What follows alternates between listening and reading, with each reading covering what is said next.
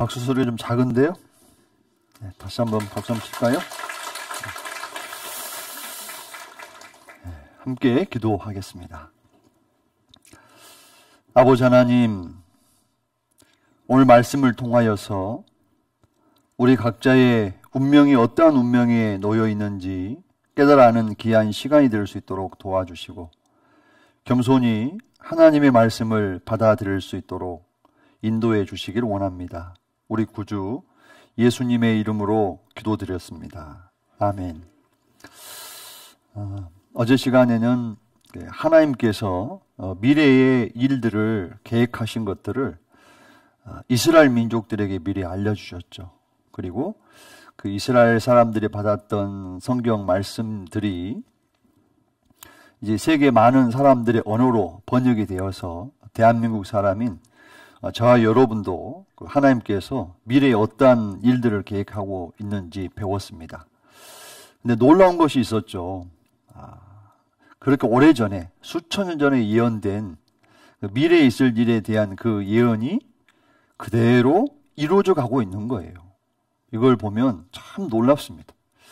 근데 오늘은 어, 이 세상의 마지막도 중요하지만은 우리 각자 아, 죽고 난 이후에 내 운명은 어떻게 될 것인가 이 부분은 더 중요한 일이지 않습니까? 그런 부분들에 대해서 좀 살펴보려고 합니다. 그래서 오늘 화면을 좀 보시면 이제 배워야 될 것이 하나당 남았는데 무엇이냐면은 같이 읽어볼까요? 사후 죄. 죽음 건너편에 죄에 대한 심판이 있다라고 하는 겁니다. 그래서 오늘 우리는 저도 이런 주제를 다루기는 좀 유쾌하진 않는데 아, 유쾌하는 것이 진정으로 찾아오기 위해서는 이 죄 문제에 대해서 정확하게 짚고 넘어가는 것이 중요합니다. 오늘 말씀을 쭉 배우다 보면 내가 어, 어떤 죄를 얼마만큼 범했는지 성경이 우리에게 알려줄 거예요. 그때 아, 그냥 아 내가 이런 죄도 범했구나, 아, 이런 죄도 있었구나. 그래 인정하시면 그냥 편합니다. 병원에 갔을 때 배가 아파서 갔는데 여기 놀러 보는데 환자분 아파요 안 아파요? 아픈데 안 아프다고 얘기하면은 정확한 아, 진찰이 될까요 안 될까요? 안 되는 거예요. 그럼 이제 처방이 돼도 그 약을 먹어도 안 낫는 겁니다. 솔직해지지 않으면 우리는 하나님 앞에서 죄를 깨달을 수도 없고 또 그 죄를 해결할 수도 없어요. 그래서 솔직하게 다른 사람보다 내가 이런 생각하지 말고 하나님 앞에 내가 죄가 있는지 없는지를 좀 깨달아 아는 그런 귀한 시간이 되었으면 좋겠습니다. 그리고 하나님께서 죄를 어, 죄가 있다는 걸 알게 해 주셔서 혼내려고 하시는 게 아니에요. 예. 우리 부모님들이 간혹 우리가 실수하고 잘못했을 때 너 이러이러한 잘못했어 안 했어? 라고 물을 때가 있죠. 그럼 이미 알고 묻는 거잖아요. 맞아요, 틀려요? 맞아요. 그러면 그때는 솔직하게 뭐라고 얘기해야 됩니까? 잘못했습니다라고 얘기하는 것이 가장 최선이에요. 근데 계속 여러 가지 핑계를 대고 제가 하지 않았어요. 라고 하게 되면은 용서도 안 되고 그리고 부모님에게 더 혼나는 일이 있지 않습니까? 그래서 말씀을 듣는 가운데 어떤 죄가 드러나면은 아하 이 죄를 하나님께 용서해 달라고 내가 기도하는 것이 살 길이다. 어떤 이런 마음을 가지고 오늘 말씀을 들어주셨으면 좋겠습니다. 자, 화면을 보시면 어제까지 우리는 땅의 일에 대해서 살펴봤습니다. 땅의 일에 대한 예언의 말씀들이 그대로 성취되는 것을 확인했죠. 그렇다면 이게 사실이라면은 아, 죽음 건너편에 천국과 지옥에 대한 일은 하늘 일에 해당이 되는 거거든요. 그럼 하늘 일도 사실일까요? 거짓일까요? 사실인 거죠. 그래서 오늘 같이 한번 읽어보겠습니다. 죄인을 불러 죄를 용서해 주시려는 하나님. 죄인을 불러서 지옥에 던져 넣는 하나님이 아니죠? 죄인을 불러서 그 죄를 용서해 주시려고 하나님이 우리를 부르신다는 거예요. 그래서 오늘 우리가 살아온 삶 가운데 어떤 죄를 범했는지 또 어떤 음, 죄를 짓고 살아왔는지 생각하는 시간이 되었으면 좋겠습니다. 같이 한번 읽을까요? 예, 세상 끝에 이런 일이 있을 것이라고 예수님이 말씀해 주셨습니다. 천국에는 누가 들어가는 줄 아느냐? 예를 들어서 말한다. 바다에 어부가 그물을 던지지 않느냐? 예, 그렇죠.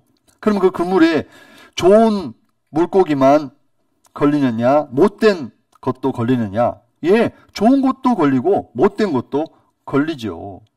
그런 것처럼 이제 나중에 주인이 어부가 이 고기를 가지고 와서 좋은 것은 어떻게 합니까?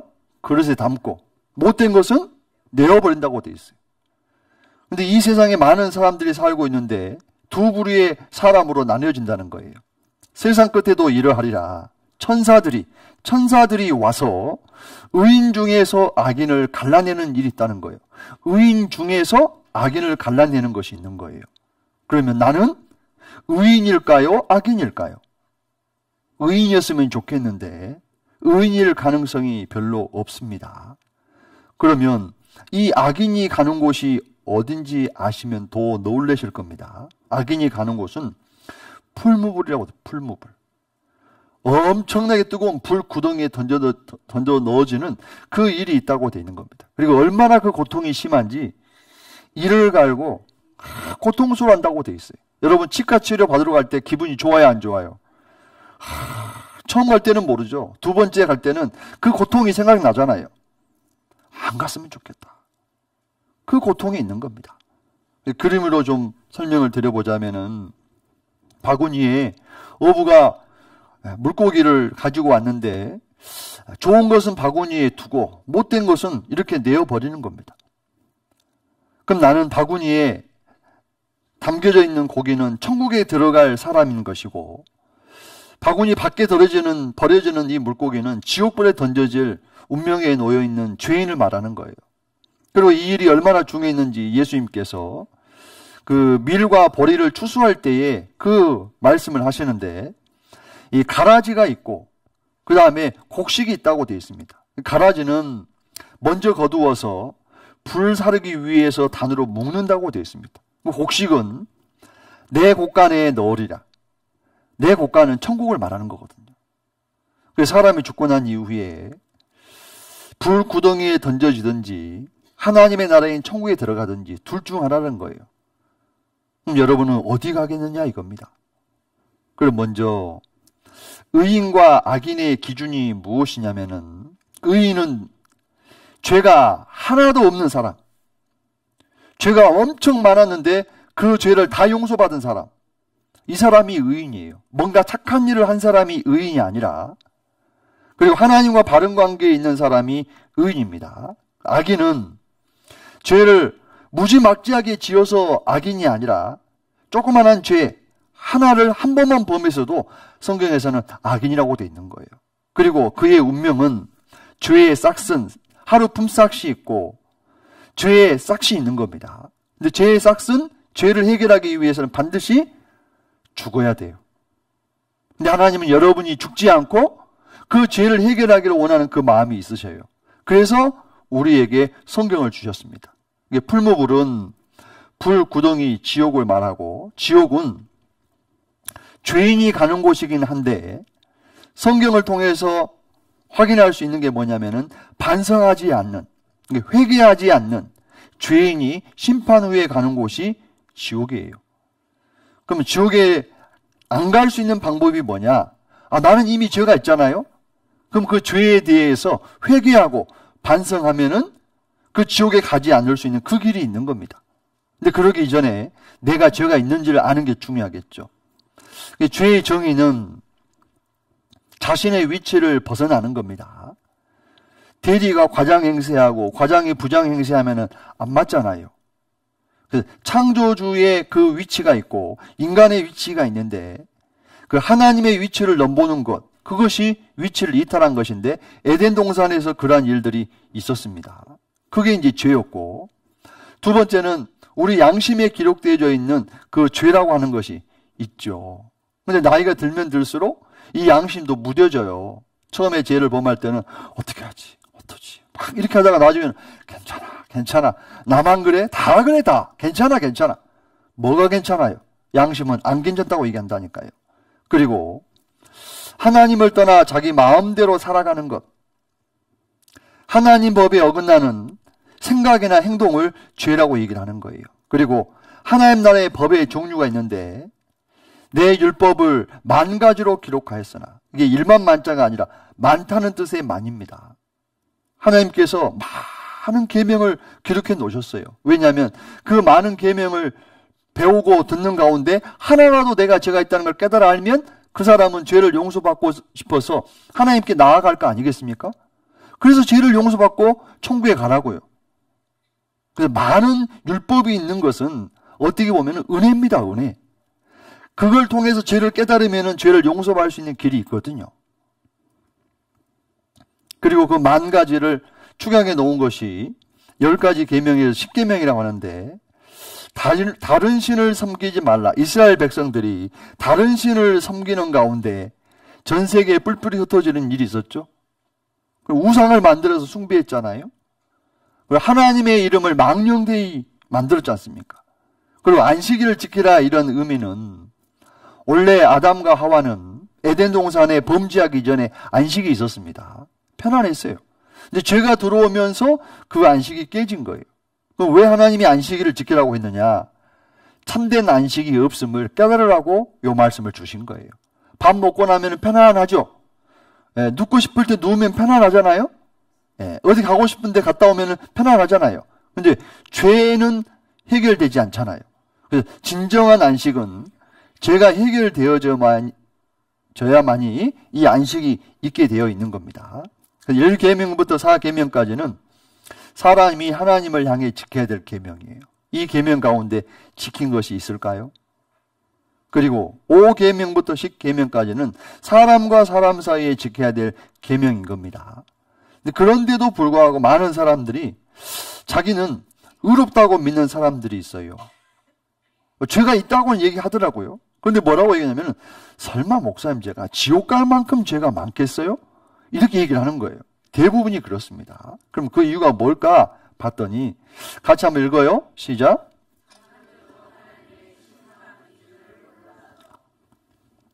하나님의 심판을 기준을 기준을 모르니까 이렇게 얘기하는 겁니다. 하나님은 겉도 보시지만 뭘 보시느냐? 중심을 보셔요. 말과 행동이 왜 범죄를 하게 되느냐? 마음과 생각이 오염이 되어 있으니까 말이 거칠어지는 겁니다. 행동이 죄를 범하는 거예요. 근데 사람은 마음과 생각을 조금 읽기는 하지만 완전히는 모르잖아요. 근데 하나님은 완전히 다 아시는 분인 거예요.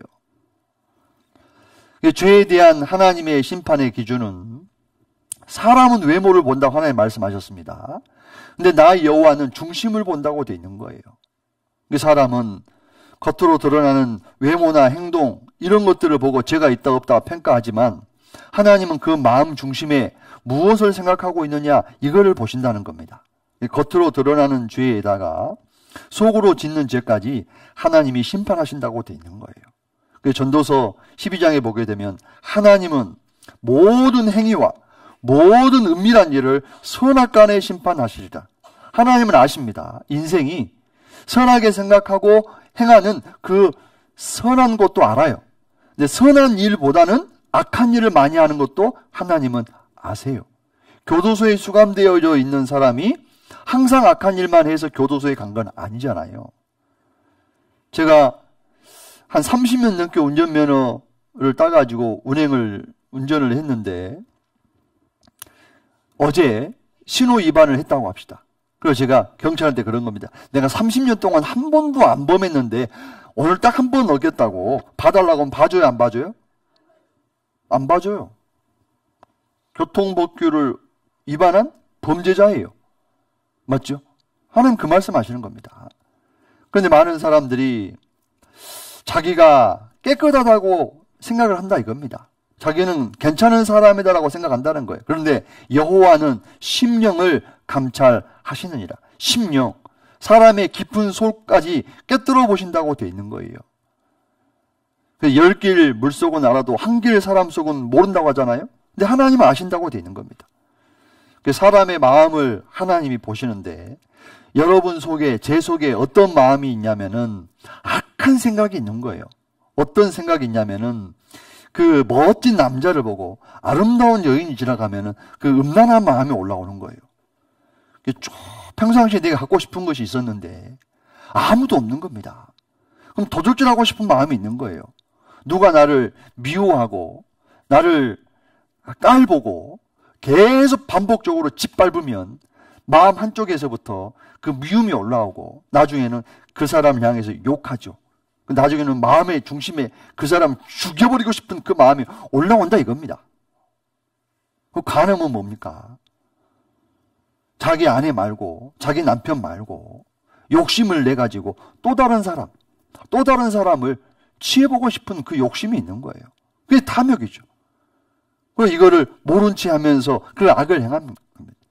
이런 죄들이 다 어디서 나오냐면은 마음 깊은 곳에서부터 나와서 사람을 더럽게 한다고 되어 있는 거예요.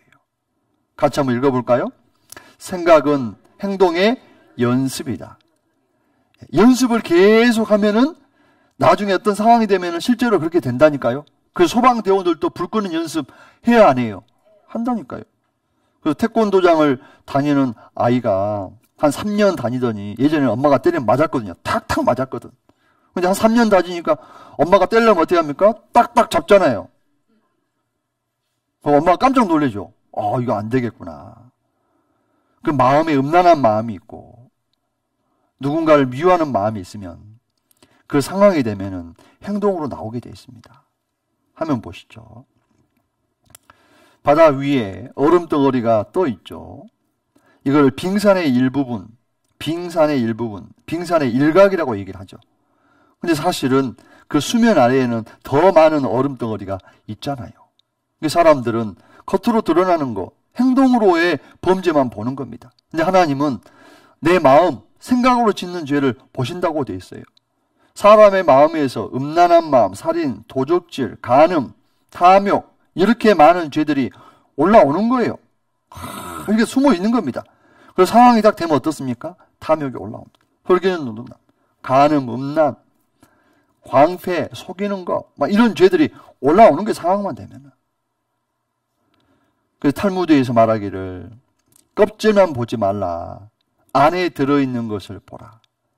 알맹이도 중요하고 껍질도 중요하잖아요. 근데 더 중요한 게 있다면 알맹이가 중요한 거잖아요. 내 마음 중심에 무엇을 생각하고 있느냐. 그래서 하나님은 사람도 사람의 마음과 생각을 살펴보는데 하나님은 모르실까요? 아시죠?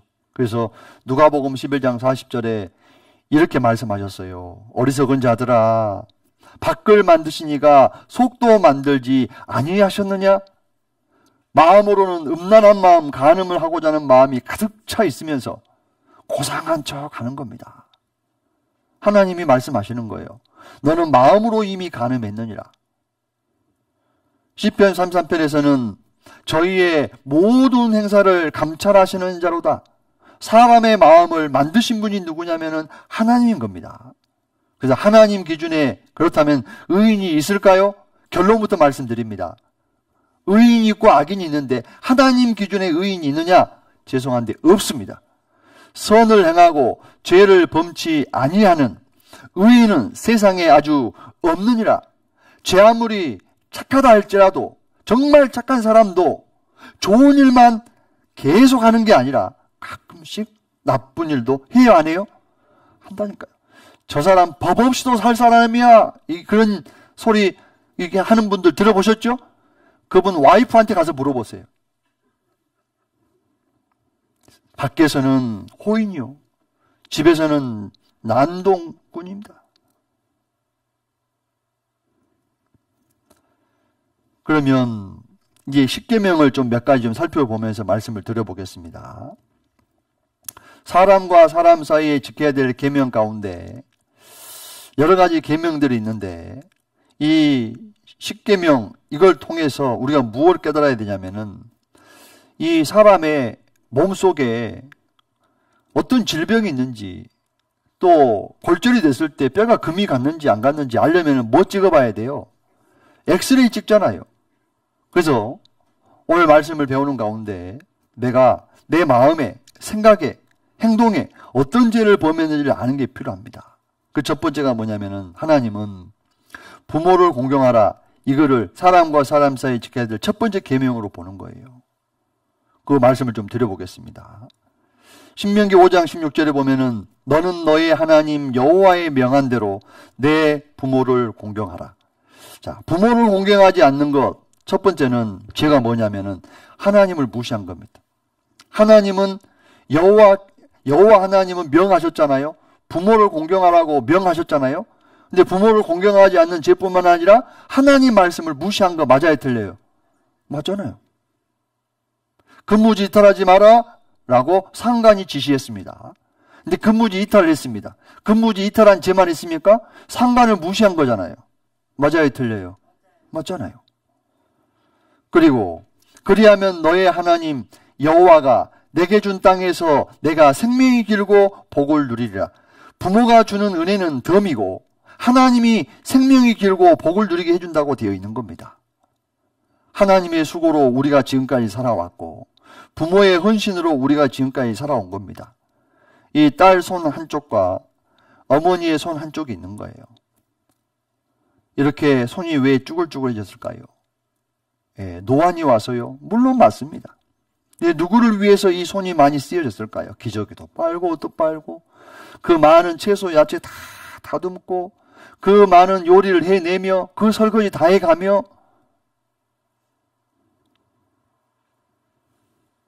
이 부모의 희생이 없이, 없이 우리가 어떻게 존재하겠냐 이겁니다. 잠언 23장 22절에서는 하나님 말씀하십니다. 너 낳은 아비에게 청종하고 내 늙은 어미를 경히 여기지 말지니라. 야, 제가 이걸 곰곰이 생각해 보니까요. 아하. 제가 어렸을 때 생각해 봤어요. 7살, 8살, 15살, 뭐 고등학교 때 생각해 봤어요. 그리고 이제 대학 졸업하고 나서부터는 아, 제 마음이 많이 높아지는 걸 이렇게 생각이 나더라고요. 내가 어느 정도 장성하고 밥벌이 하고 내 앞가름하고 부모 없어서 살만하고 그러면은 그때는 이제 부모를 무시한다 이겁니다. 그리고 경이 여기는 것이 있다고 돼 있는 거예요. 성경에는 내 부모를 즐겁게 하는 것이 하나님 보시기에 아름다운 것이라고 되어 있습니다. 근데 우리는 어떻습니까? 마음으로 심지어는 직접적으로 그 아버지 어머니 앞에서 욕하잖아요. 근데 성경에는 그런 자는 반드시 죽임을 당하리라 이렇게 표현하고 있는 겁니다. 자식의 도리라고 하는 것은 부모가 잘해서 부모를 공경하는 게 아닙니다. 부모이기 때문에 공경하는 겁니다. 대통령이 잘해서 공경하는 게 아니라 대통령이기 때문에 공경하는 겁니다. 이게 기본 베이스가 되는 겁니다. 그래서 하나님 말씀하기를 너는 흰머리 앞에 일어서라. 그리고 노인의 얼굴을 공경하라. 그렇지 않고 나를 경외하는 것은 거짓이다. 그건 거짓이라는 거예요, 거짓. 하나님은 그걸 원치 않으셔요. 나는 여호와니라. 저 봐보시죠. 제가 부모님이 살아 계신다고 해봅시다. 근데 여러분들한테는 정말 잘하는 거예요. 너무너무 잘하는 거예요. 선물도 드리고, 어려울 때마다 도와드리고 하는 거예요. 근데 부모님이 제가 살아 계시는데, 한 달에 한 번도 전화 안 해요. 1년에 한 번도 찾아뵙질 않아요. 연락이 와도 제가 전화 받지도 않아요. 근데 여러분 그걸 몰라요. 여러분한테 잘한 것만 봤을 때, 야, 저 목사님 참 선하다라고 얘기할 수 있겠죠? 근데 부모가 보면 뭐라 할까요? 저 위선자, 저 거짓, 저 거짓 목사라고 할까요? 안 할까요? 예, 부모는 모르죠. 내가 여러분한테 잘하는지 못하는지. 근데 하나님은 알아요? 몰라요? 아는 겁니다. 그래서 부모 공경하지 않고서 나머지 선을 행하는 것은 다 가짜인 거예요. 잠언 20장 20절에 보게 되면은 자기 아비나 어미를 뭐 하는 자요? 저주하는 자. 이 욕하는 걸 뛰어넘어서 저주한다고 되어 있습니다. 그러면은 등불이 유암 중에 꺼짐을 당하리라. 등불이 유암 중이라는 것은 캄캄한 어둠이 있는데 등불이 켜져 있는데 그게 확 꺼져버리는 거예요. 그런 것처럼 갑자기 죽임을 당하게 되는 그 일이 있을 것을 말씀하고 있습니다. 부모는 싸움이 대상이 아닙니다. 부모는 마음과 행동으로 존경해야 하는 분입니다. 행동으로는 존경한다고 말할 수 있죠. 사람들이 이목이 있으니까. 그런데 마음으로는 존경하지 않을 수 있습니다.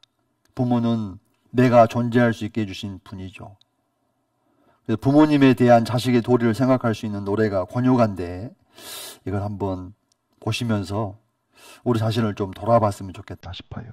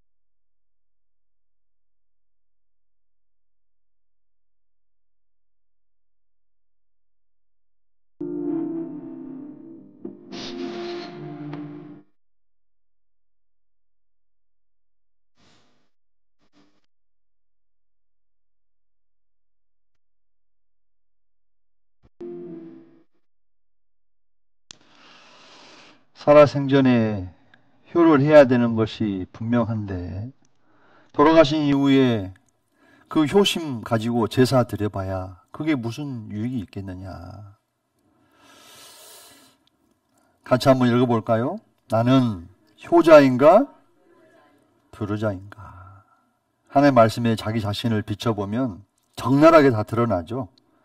특별히 부모님이 돌아가시고 난 이후에는 양심에 서 계속 이야기하는 거예요. 부모님에게 해드리는 것이 아무것도 없구나. 왜 살아 계셨을 때 내가 더 못해드렸을까? 부모를 공경하지 않는 사람은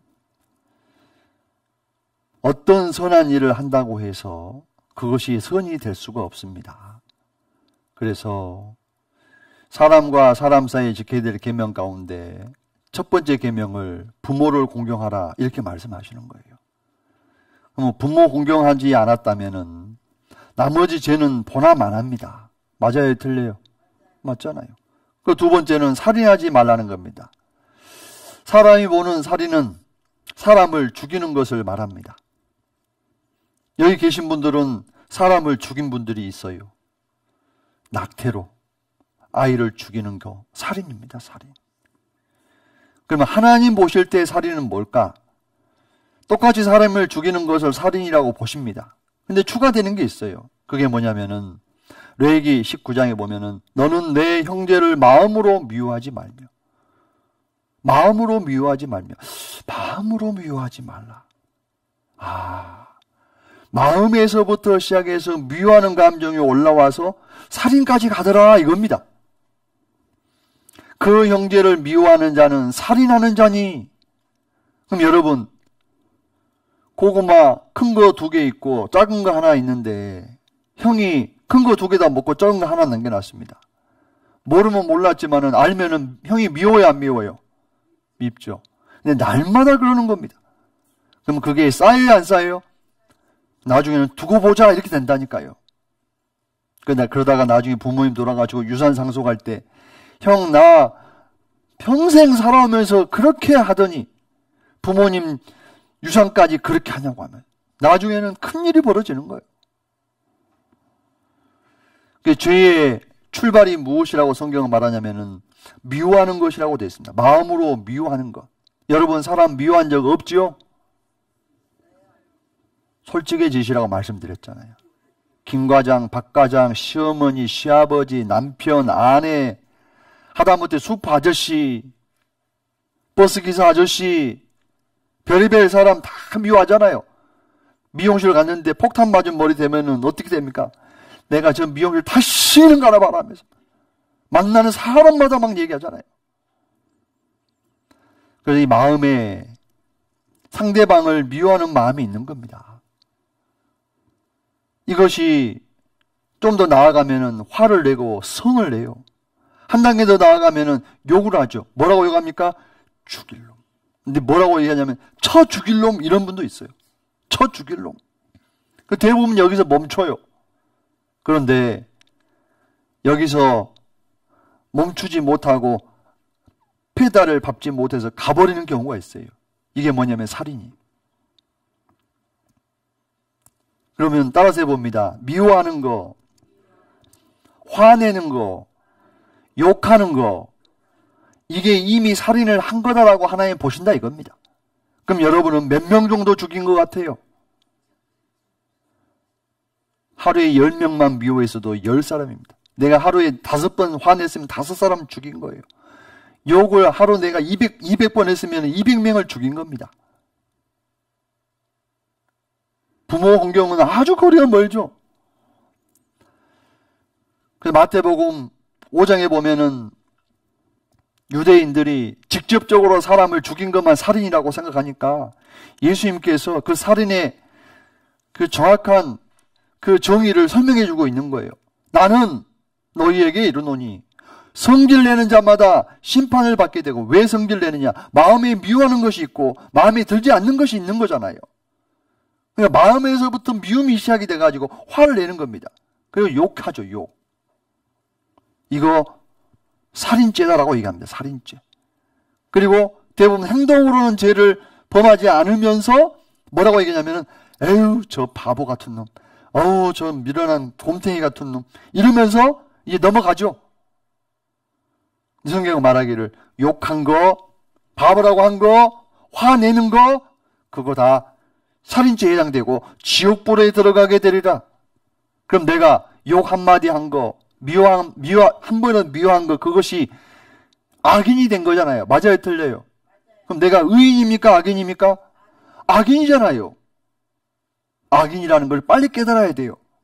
그래야 이 죄를 용서해 달라고 하나님께 나아갈 거 아니겠습니까? 맞아요, 틀려요? 맞잖아요. 에레미 6장에서는 땅이여 들으라 내가 이 백성에게 재앙을 내리리니 이것이 그들의 생각의 결과라. 이 백성에게 재앙은 이 땅에서의 재앙도 있지만 죽음 건너편의 불구덩이의 재앙이 진짜 재앙이잖아요. 그럼 왜 불구덩이 가느냐? 그들의 생각의 결과로 지었던 죄로 인해서 간다는 겁니다. 여러분 마음과 생각으로 지었던 그 죄를 하나님이 심판하셔요. 그런데 많은 사람들은 하나님의 법을 무시해 버리는 겁니다. 여기 도미노 게임이 있는데 이 도미노 현상이 무엇이냐면은 앞에 있는 팻말을 딱 넘어뜨리잖아요. 그럼 뒤에 있는 팻말 2번, 3번, 4번 연속으로 쫙 넘어가는 거예요. 내 마음과 생각에 음란한 마음이 있었다. 누군가를 미워하는 마음이 있었다. 그럼 이 말로 음담패설이 나와요. 그 욕이 나옵니다. 그럼 행동으로 그 죄를 범한다니까요. 그리고 살인까지 가는 거예요. 이걸 숨기기 위해서 어떻게 합니까? 또 다른 죄를 짓죠. 같이 읽어요. 마음의 팻말이 여러분 마음의 팻말이 넘어 무너지면 행동의 팻말도 넘어집니다. 한 번 죄를 범하기가 어렵지 이런 말 들어보셨죠? 그게 뭐냐면 마음의 팻말이 딱 무너지면은 그 다음부터는 셀 수 없는 죄를 범하는 거예요. 그리고 이 마음으로 말로 혀로 이 살인죄를 짓습니다. 근데 성경에는 혀가 작은 지체다. 그런데 큰 산불이 일어나기 전에 시작이 뭐냐? 작은 불에서 시작됐지 않았느냐? 그런 것처럼 사람이 살인죄라고 하는 큰 죄를 범하기 전에 이 마음 중심에 미워하는 마음이 있고 이 혀로 이미 그 사람을 죽이는 그 일들이 있다라고 하는 겁니다. 그래서 여기 보면은 언어 폭력이에요. 개만 못한 것, 멍청한 것, 못된 것, 뭐 같은 것, 때려 죽여버리겠다. 으휴, 이 돌대가리 같으니 넌 내 자식이 아니니 아빠라고 하지도 마라. 이런 말. 이런 말 듣고 나면 막 스트레스가 막 쌓이잖아요. 성경에서 말하기를 혀는 곧 불의요 불의의 세계라 악의 시작이라고 되어 있는 겁니다. 그 사람의 혀는 불과 같고 악으로 가득 찬 세계와 같고 혀는 몸의 한 부분이지만 온 몸을 더럽히고 우리의 생애를 죄악으로 불태우고 끝내는 혀 그 자체도 지옥불에 타고 만다고 되어 있는 겁니다. 근데 이 혀를 길들일 사람이 없어요. 쉬지 않는 죄를 범해요. 죽이는 독이 가득하다고 되어 있는 겁니다. 그래서 마음과 생각이, 생각이 약해서 혀로 죄를 범하는 겁니다. 그래서 이 술자리 말다툼 끝에 빈정이 상해가지고 친구를 죽이는 일이 있고, 못생겼다는 남편 말에 아내가 화가 나니까 힘이 없잖아요. 자기 집에다가 불을 지르기도 하고, 타이틀이 살인불은 말 한마디입니다. 당신 키가 작아 창피해 이렇게 얘기하니까 격분해가지고 남편이 부인을 살해했습니다. 근데 한마디 했는데 이렇게 하진 않죠. 수년간, 십수년간 반복이 되니까 이게 쌓인 겁니다. 같이 읽어요. 무심코 내뱉은 한마디, 주먹보다 더 큰 상처 준다. 누구한테 이런 얘기를 듣냐면은 가까운 친지, 남편, 아내에게 이런 얘기를 듣죠? 근데 이게 마음속에 응어리가 되잖아요. 응어리. 그게 주먹보다 더 큰 상처를 준다고 돼 있는 거예요. 따돌림 당하는 일이 있는데 이럴 때 이 뇌는요. 몸을 다쳤을 때와 똑같이 느낀다고 돼 있는 겁니다. 그래서 왕따라고 하는 것이 폭력입니다. 폭력. 그리고 사람을 스트레스를 주잖아요. 이게 무엇이라고 되냐면 욕심이라도 욕심. 이게 독약이라도 독약. 스트레스는 동약인데 그러면 욕심을 버리면 몸도 마음도 가뿐하다고 하는데 이론을 알겠어요. 근데 그런 상황이 되면 안 되는 겁니다. 그 스트레스가 세포 서서히 죽인다라고 되어 있는데 세포 속 물질 길이가 짧아지는 현상이 나타나고 스트레스를 받으면 뇌 세포가 밀착 기능이 약화됩니다. 면역, 기억 능력이 떨어지는 거예요. 실제로 그런지 생쥐를 가지고 실험을 했습니다. 그 스트레스를 안 받았을 때는 이 뇌 세포가 굉장히 빼곡하게 자리를 잡고 있는 거예요. 스트레스를 계속 줬더니 어떤 일이 벌어지냐면은 아이구야 듬성듬성 있잖아요. 빈자리가 있잖아요. 이 세포가 죽은 거예요. 그 스트레스를 받게 되면은 혈액이 나빠지게 됩니다. 혈액이 탁해져요. 혈관이 또 수축이 돼요. 몸에 산소가 부족하게 되고 피곤과 통증이 오고 이게 반복되면 기능 장애가 옵니다. 이걸 방치하게 되면 질병이 옵니다. 심지어는 암에도 걸려요. 살인은 살인인데 소리 없이 서서히 죽이는 살인입니다. 그리고 자기가 자기를 죽이는 경우가 있는데 화를 내면은 자기 몸에 독소가 쌓이는 거 아세요? 화를 낼 때 이 그 숨결을 갖다가 이제 급속 냉각을 시켰더니 색깔이 밤색으로 바뀌더라는 겁니다. 한 사람이 한 시간 동안 계속 화를 내잖아요? 자기 몸이 그게요, 쌓여요. 80명 정도 죽일 정도의 독소가 자기 몸에 쌓이는 거예요. 자기가 자기를 죽여요. 상대방도 죽여요. 그리고 이제 보통 말하는 게 아니라 욕이잖아요, 욕. 욕을 합니다. 욕한다는 것은 상대방의 인격, 품격을 깔보는 거죠. 근데 이 욕하는 것을 성경은 이렇게 말합니다. 칼로 찌른 것 같다. 칼로 찌른 것 같다. 함부로 말하는 것은 칼로 찌르는 것 같다. 여러분, 강도짓 한 거예요. 함부로 말하는 것은. 그리고 이제 매일 일하고 와서 또 출근 전에 마음껏 인형인데 무슨 인형이라고 되어 있습니까? 저주 인형이 저주 인형.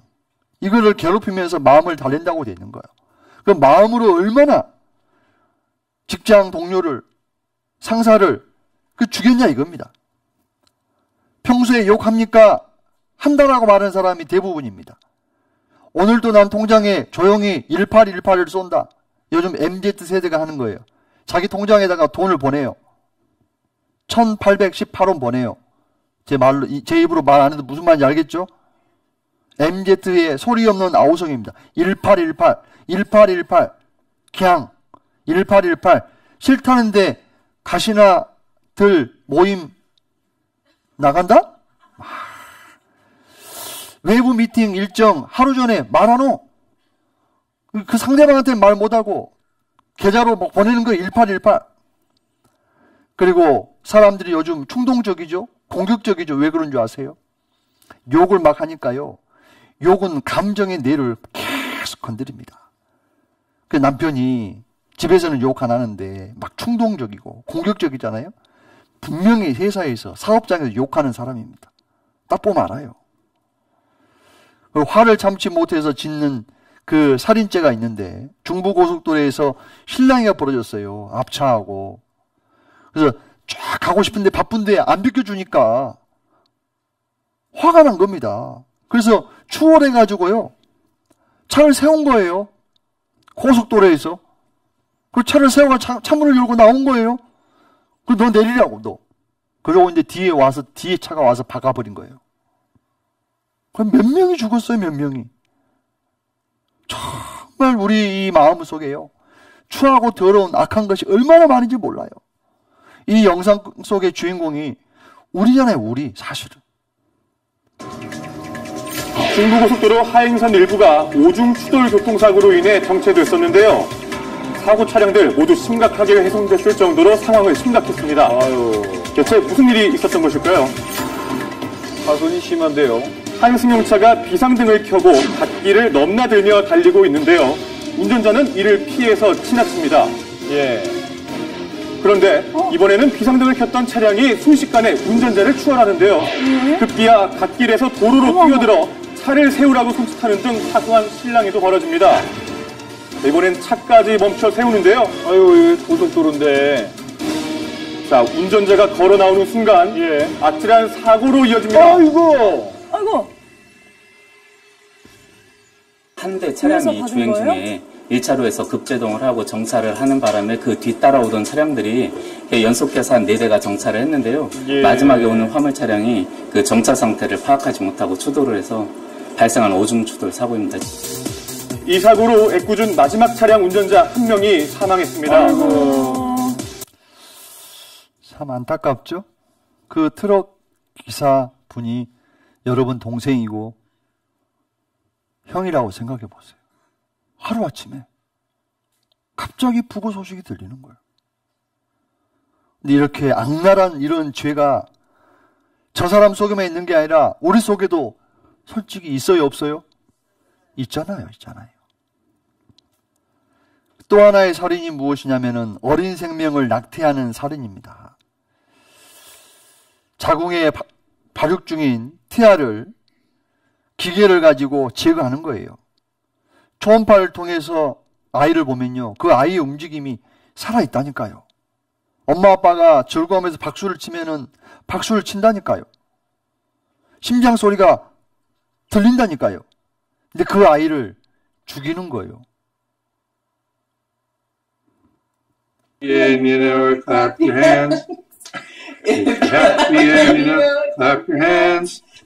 박수 치는 게 보이죠? 근데 그 아이를 죽이는 거예요. 임신 36주도 2천만 원의 낙태. 그런데 처벌할 법이 없다. A 산부인과 낙태 수술 실태를 봤더니 한 달 매년 평균 400건입니다. 하나의 산부인과에서. 그러면은 대한민국 전체의 산부인과 계산해 보면 얼마나 많이 죽느냐 이 말이에요. 이 아이들 속에 여러분 아이는 없으세요?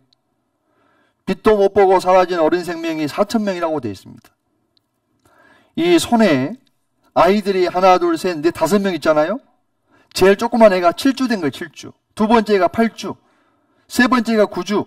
네 번째가 10주 됐어요. 다섯 번째가 12주 됐습니다. 12주. 근데 이런 아이를 지웁니다. 6주가 되면은 몸의 고통을 아이가 느낍니다. 8주가 되면은 육안으로 식별할 수 있는 신체 구조가 형성, 이 돼요. 이 8주. 그리고 한 해 낙태로 사라지는 어린 생명이 150만 명 정도 된다고 그래요. 인천광역시 인구 절반입니다. 어떤 사람이 작품을 전시해 놨는데 제가 찍어 왔어요. 날개를 펴지 못한 죽어간 그 어린 아이들이 있거든요. 이 속에 여러분이 지운 그 아이도 있을걸요? 하나님이 보실 때 살인에 해당하는 죄가 뭐냐면은 미워하는 것이 살인이라고 돼 있죠? 욕하는 것이 살인이라고 돼 있잖아요. 미련한 놈이라고 하는 것도 살인이라고 돼 있잖아요. 얼마나 많은 살인을 했는지 헤아릴 수가 없어요. 상처 주는 말. 상처 받기도 하지만 주기도 하잖아요. 무시받기도 하지만 무시하는 말도 하잖아요. 화내고 싸우고 욕하고 사람을 미워하고 심지어 낙태를 행하고 그래서 어떤 분이 하, 목사님 그럼 어떻게 하면 돼요? 죄가 너무 많아요. 그래서 시편 기자는 이렇게 말합니다. 내가 지은 죄가 내 머리에 흘러 넘칩니다. 감당할 수가 없습니다. 감당할 수가 없습니다. 이 사람 양심이 바른 거예요. 이 사람은 희망이 있어요. 이 사람은 희망이 있다니까요. 또 하나의 죄가 무엇이냐면은 간음하지 말라라고 되어 있는데 이 세상에서의 간음 음란이라고 하는 것은 결혼을 했는데 남편이 아내가 다른 사람하고 부정한 짓을 하는 거예요. 우리 주변에 많잖아요. 여러분 선배들도 있고 후배들도 있잖아요. 음란이라고 하는 것은 돈을 주고 성을 사는 거예요. 결혼도 하지 않았는데 처녀 총각이 그냥 동거해요. 그거 죄입니다, 죄. 하나님 보실 때 음란 가늠은 뭘까요? 마태복음 5장 28절에 여자를 보고 남자를 보고 음욕을 품는 자마다 마음에 이미 가늠하였느니라. 저 아가씨 참 좋아 보인다. 저 총각 참 멋있어 보이네. 그래서 마음에 품는 것, 그 이미 마음으로 가늠했다라고. 뭘로 가늠했다고요? 마음으로. 우리는 육체적으로 가늠을 행한 것도 있고, 마음으로 간음을 행한 것도 있습니다. 육체적으로 간음을 한 명하고 했다면 아마 마음으로는 만 명도 될걸요? 육체적으로 내가 간음을 열 명하고 했다면 마음으로는 셀 수가 없을걸요? 내 마음에 스쳐 지나가는 그 수많은 남자, 여자가 얼마나 많냐 이겁니다. 유튜브를 통해서, 인터넷 통해서 이 마음의 음란한 마음과 생각을 하는 거예요. 부끄러운 죄잖아요. 부끄러운. 이거 혼자 있을 때 짓는 죄잖아요. 혼자 있을 때. 둘이서만 짓는 죄잖아요. 이런 죄를 짓고 지옥에 갈 운명에 있는데 하나님이 우리에게 은혜를 베풀어 주셔서 성경을 주신 겁니다.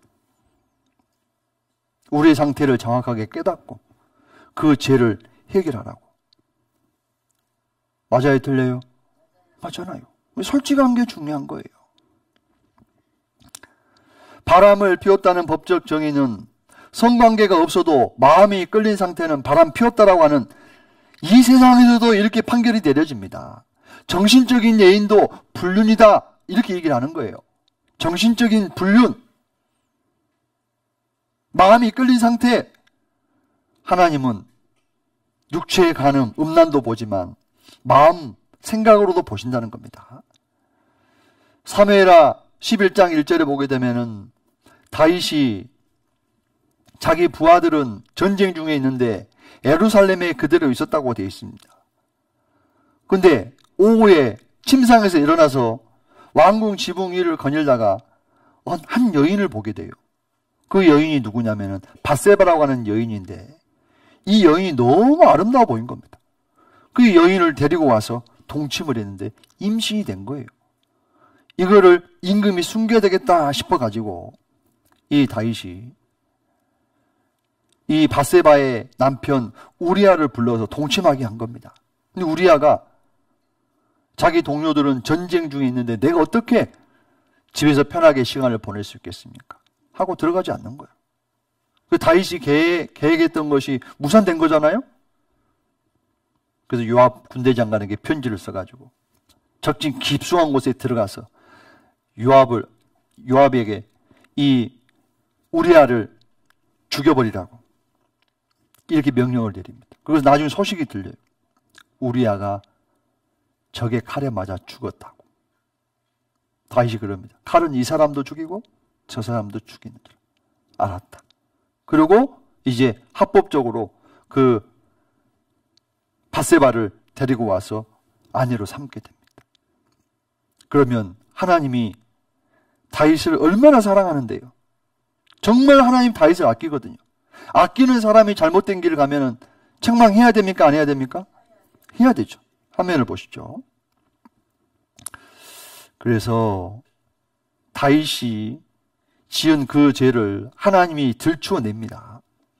그리고 징계하셔요. 징계해야 다시는 그런 죄를 짓지 않을 거 아니에요. 근데 하나님이 이렇게 말씀하십니다. 간음하지 말라 말씀하셨거든요. 이게 누구 말씀이죠? 하나님 말씀이죠. 그럼 내가 간음을 했습니다. 그러면 간음을 행한 대상자하고도 죄를 범했지만 하나님 말씀을 무시한 그 죄도 있잖아요. 그 성경은 이렇게 말합니다. 어찌하여 내가 여호와의 말씀을 뭐라고 돼 있죠? 업신여기며 이제 내가 나를 업신여기고 하나님을 업신여기는 게 뭐냐면은 하나님 말씀을 불순종한 거예요. 그게 1차적인 죄고 2차적인 죄는 우리아에게 죄를 범한 거죠. 바세바에게도 죄를 범한 겁니다. 맞죠? 그리고 하나님 말씀하기를 하나님은 허망한 사람을 아시나니 악한 일은 상관치 않으시는 듯 하나 다 보시느니라. 다 보시느니라. 제가 상담을 하는데 제가 이런 얘기 하니까 할머니 한 분이 그래. 우리 영감 바람, 바람둥이라고 바람둥이. 어? 여자가 세 명이나 있었다고. 할아버지, 정말로 할머니가 그렇게 많았어요. 이렇게. 내가 좀 능력이 있었지. 그러면 할머니 마음에는 할아버지만 있었을까요? 다른 남자는 마음이 없었을까요? 하나님 볼 때는 똑같다 이겁니다. 그런데 지옥 갔을 때 육체적으로 간음을 행한 것하고 마음으로만 간음을 행한 것하고 형벌이 다르다고 돼 있어요. 그래서 하나님은 공의로우신 하나님이에요. 하면 봅니다. 송은이라고 하는 이 사람이 뭐라고 얘기하냐면은 자기 마음에 음란이 있다고 얘기해요. 솔직한 거지 않습니까? 그래 공감이 되잖아요. 어느 날 주말 오후에 아빠가 이 그네를 아이를 태워주고 있습니다. 근데 큰 대형 사고가 일어나요. 왜 일어날까요? 한번 봐보세요.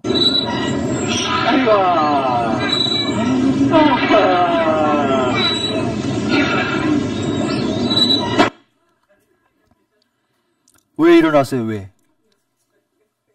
옆에 누가 왔어요? 여자가 나타나니까 마음에 방금 전까지는 그렇지 않, 딱 보는 순간 그 짧은 순간에 음란한 마음이 들어왔어요? 안 들어왔어요? 들어왔잖아요. 그 몇 초도, 안, 1초도 안 되는 그 사이에 들어오는 거예요. 왜 그럴까요? 내 마음 속에 그런 음란한 그 기질이 있는 거예요. 사람들은 도적을 보면은 야, 너 그렇게 하면 안 돼. 간음을 행하는 친구들 보고 너 그러면 안 돼. 그래야 되는데요. 요즘 사람들 어떻게 하는지 아세요? 이렇게 얘기하는 겁니다. 도적을 본즉 돕고 간음하는 자와 한 통속이 되며 이렇게 돼 있는 거예요. 야, 김 과장, 재수 씨한테 미안하지도 않아? 당장 정리해. 이래야 되는데, 야, 김 과장, 나도 하나 소개시켜줘. 야, 정말 너무 뻔뻔스러운 거예요. 마치 이런 겁니다. 자기 본 마누라 놔두고 세컨드가 있는 거예요. 성경은 말합니다. 마음으로 가늠하는 것도 심판받을 일이고 만지는 것은 당연히 더 심판받을 일이다. 여러분 그 손, 여러분 남편 말고 다른 남자 손 잡은 적 있어요, 없어요? 아, 나는 잡혔어요. 그게 그겁니다. 그게 그거잖아요. 요한복음 8장 3절에 보게 되면은 부끄럽게도 간음 중에 한 여자가 잡혀옵니다. 누구에게? 예수님 앞에 잡혀와요. 근데 구약 성경에 보게 되면은 간음을 행한 사람은 남자든 여자든 돌로 쳐 죽이라고 돼 있는 거예요. 근데 이때 당시에는 로마가 지배하고 있기 때문에 사법권이 없어요. 그 예수님께서 이렇게 얘기하든 저렇게 얘기하든 이제 고소할 조건이 되는 겁니다. 그래서 예수님이 땅에 뭔가를 쓰시고 나서 이렇게 얘기를 하는 겁니다. 같이 읽어요. 너희 중에 죄 없는 자가 먼저 돌로 치라 하시고 이 여인은 간음죄를 지었다. 근데 너희는 너희는 마음과 생각에 그 실질적으로 행동으로 간음을 행한 적이 없느냐? 말씀이 다 꼽힌 거예요.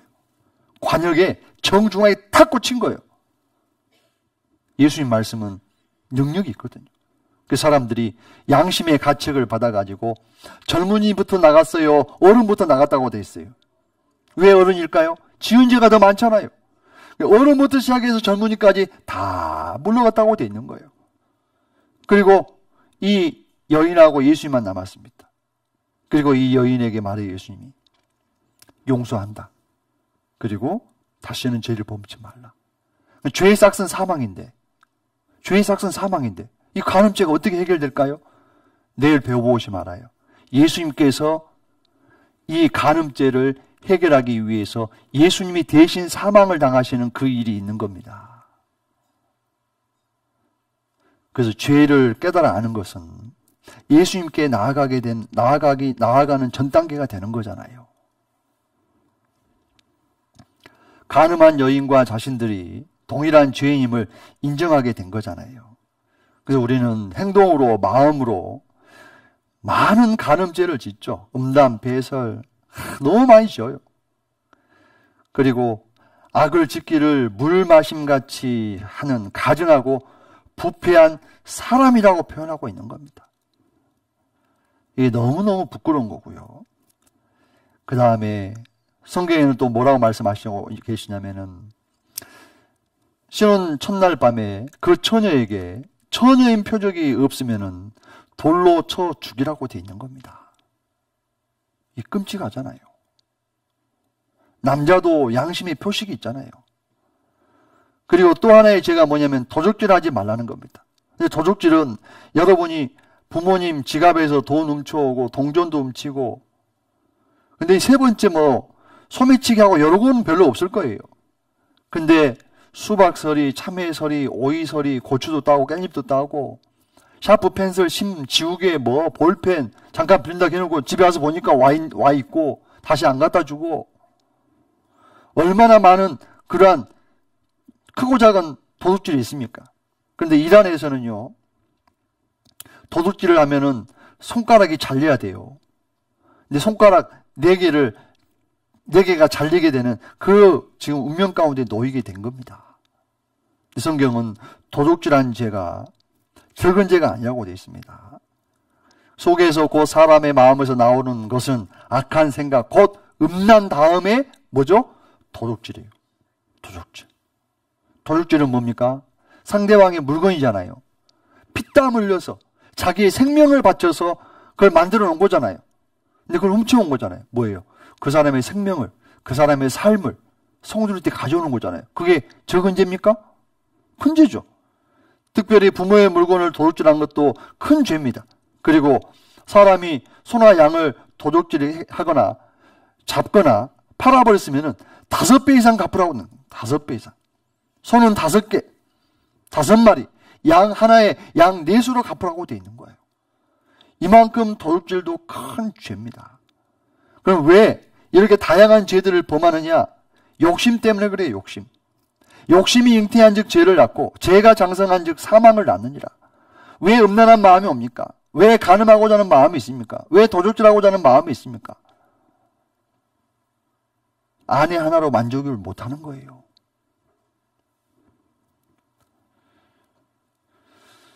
그리고 이제 아홉 번째 같이 읽어요. 이웃에 대하여 거짓 증거하지 말라. 여러분 거짓말한 적 없으시죠? 내라고 하셔야 거짓말 하나가 더 추가돼요. 여러분 거짓말한 적 없으시죠? 예. 부끄럽지만 그게 사실이잖아요. 사실과 어긋나게 말하는 것이 거짓말입니다. 근데 이 거짓말은 상대방을 존중하지 않는 거잖아요. 상대방을 무시하는 죄입니다. 성경에는 이웃에 대하여 거짓 증거하지 말라고 되어 있습니다. 제가 바람을 안 피우는데 동네 사람들 다섯 명이 작당을 해가지고 윤 목사가 바람 피웠다고 고소한 겁니다. 증인한 거예요. 그럼 저는 돌에 맞아 죽어야 안 죽어요? 이 유대법에 의해서는 돌에 맞아 죽어야 되는 겁니다. 근데 나는 간음을 하지 않았어요. 거짓 증거한 거. 적은 죄입니까? 큰 죄입니까? 큰 죄잖아요. 큰 죄. 그리고 거짓말의 위력을 이렇게 설명합니다. 거짓 증거하는 사람은 방망이로 칼로 찌르고 뾰족한 살로 찌르는 그러한 것이 거짓말이라고 표현하고 있는 겁니다. 그리고 거짓 행하는 자는 하나님 나라에 들어가지 못한다고 되어 있는 거예요. 그러면 오늘 잠깐 몇 가지 살펴봤는데 내가 안 지은 죄가 있어요, 없어요? 없잖아요. 그 거짓말은 잘한다고 되어 있습니다. 왜요? 거짓말 했으니까 거기에 맞아 또 얘기를 해야 되잖아요. 요즘 거짓말 탐지기 있는 거 아시죠? 개그맨 이혁재 씨가 그 인천 출신인데 그 부인이 심경혜 씨거든요. 비상금이 얼마 있는지 조사를 좀 의뢰를 했어요. 근데 이제 이 경찰관이 다른 질문도 해요. 여러분 운전하고 다니다 보면은 이게 차를 좀 빼고 놓고 하면서 긁은 것 같은 느낌 들 때가 있어요, 없어요? 그러면은 요즘은 뭐 CCTV가 있고 막 블랙박스가 있고 하지만 예전에는 그게 없잖아요. 그러면 어떻게 해요? 모르겠다고 그냥 냈다 도망간 적 있어요, 없어요? 그 있냐고 물어본다니까 이혁재 씨한테 이혁재 씨가 아니요 그러니까 거짓말 탐지기가 딱 찾아내요. 그리고 또 이렇게 얘기합니다. 당신 아내 말고 다른 여자에게 눈길을 준 적이 있어요? 없어요? 그러니까 이혁재 씨가 네 그래야 될 텐데 아니요 그랬어요. 거짓말 탐지기 바로 찾아내는 거예요. 이혁재 씨의 모습이 사실은 우리 모습입니다. 네. 뭐 묻은 게, 뭐 묻은 게 뭐 한다고요? 네. 한번 봐보시기 바랍니다. 거짓말을 하면 발각된 염려와 긴장감으로 억제할 수 없는 신체적 변화가 나타나는 오늘의 의뢰자를 만나보겠습니다. 바로 이혁재 씨의 부인 신경애 씨입니다. 어, 남자들이 흔히 아내 몰래 비상금을 챙긴다고 하는데요. 저희 남편도 비상금이 있는지 있으면 얼마쯤 있는지 궁금해서 의뢰를 했습니다. 부인의 의뢰 사실을 전혀 모른 채 검사실로 향하는 이혁재 씨. 당신은 아내 말고 다른 여자에게 눈을 돌린 적이 있습니까? 지금 남자라는 표정인데 과연 대답은? 아니요. 아니요. 그러나 그래서 사정없이 올라갑니다. 맞아요, 맞아요. 당신은 남의 차를 긁고 도망간 적이 있습니까? 아니다. 그렇지만 그래프는 상상하고 맙니다. 당신은 아내가 모르는 비상금을 가지고 있습니까? 아내가 모르는 비상금을 가지고 있습니까? 부인에 대한 바로 그 질문. 이영재 씨의 대답과는 다르게 그래프는 쭉 올라가는데요. 와, 저때 뜨끔하다. 이거 다 나와요. 이제 다시 묻겠습니다. 이번엔 솔직하게 대답해 주기 바랍니다. 아내 몰래 숨긴 비상금 있습니까? 주식도에. 아, 다시 한번 묻겠습니다. 당신은 아내가 모르는 비상금을 가지고 있습니까? 이미 내 정신이 아니야. 예. 드디어 실터하는군요. 무슨 사면에 걸린 거야? 이제야 그래프트 정상 반응입니다. 그럼 100만 원에서 500만 원 이하입니까? 자, 구체적으로. 이번에도 거짓말을 했군요. 요 500만 원 이상은 아닙니까? 예. 허허, 이혁재 씨 계속 거짓말 하고 있군요. 비상금을 한150 정도로 맞춰주셨어요. 끝까지 뭐라고 합니까? 거짓말 또 하죠. 같이 거짓말 하자는 거죠. 누구랑요? 경찰하고 같이. 자, 하면 같이 한번 읽어요. 시작. 하나님은 내가 걸어온 길을 다 아십니다. 여기 이 사람이 반듯하게 가다가 왼쪽으로 치우쳐서 올라갔지요. 내가 하나님을 모독하는 말을 했는지, 하나님을 무시하는 말을 했는지, 부모를 공경했는지 안 했는지, 살인을 했는지 안 했는지, 미워했는지 안 했는지, 음란 간음을 하고자 하는 마음이 있었는지 없었는지, 도적질하고자 하는 마음이 있었는지 없었는지, 거짓말을 했는지 안 했는지, 하나님은 아셔요, 모르셔요? 다 아셔요. 그럼 우리는 솔직하게 경찰관이 이혁재 씨를 신문했던 했을 때 솔직하게 예라고 하니까 심장 박동수가 정상으로 돌아왔죠. 그러면 이제 솔직하게 얘기하면은 이제 해결할 수 있는 방법이 있잖아요. 그렇죠? 그래서 하나님 앞에 우리가 좀 솔직해졌으면 좋겠습니다. 체조하고 또 이어서 말씀드리겠습니다.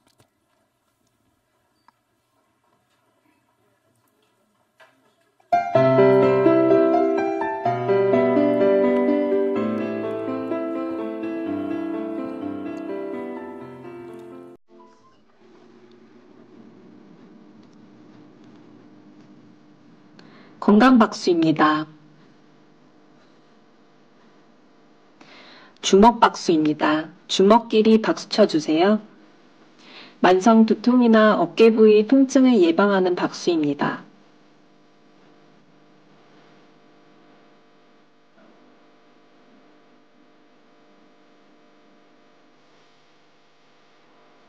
봉오리 박수입니다. 손 뒤꿈치끼리 박수 쳐주세요.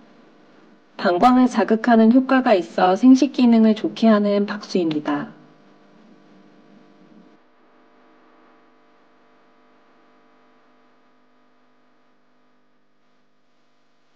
손등 박수입니다.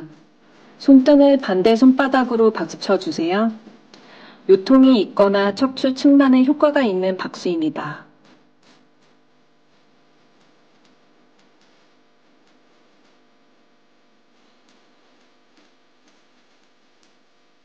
손가락 박수입니다.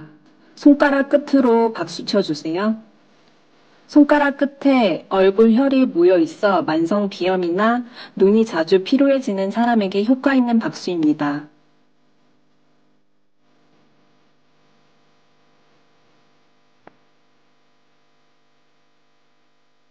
먹보 박수입니다.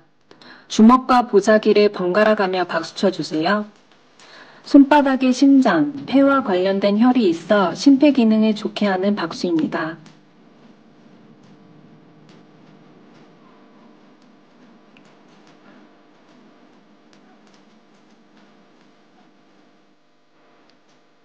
손바닥 박수입니다. 손바닥끼리 박수 쳐주세요. 손바닥의 마찰, 진동을 통해 모든 경혈이 자극을 받고 혈액순환을 도우며 장 기능을 좋게 하고 갑상선, 당뇨, 합병증에 효과가 있는 박수입니다.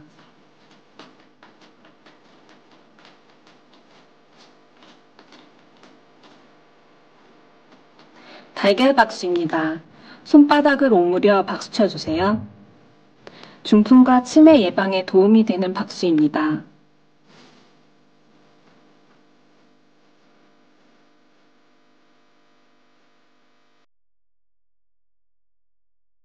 목 뒤 박수입니다. 목 뒤에서 손을 모아 박수 쳐주세요.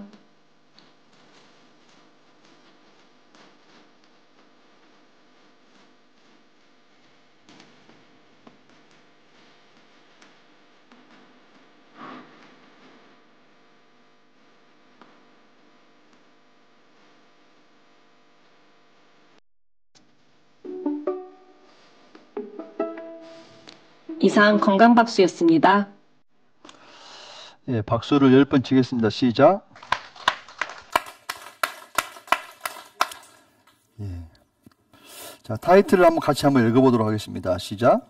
하나님은 내가 걸어온 길을 다 아신다.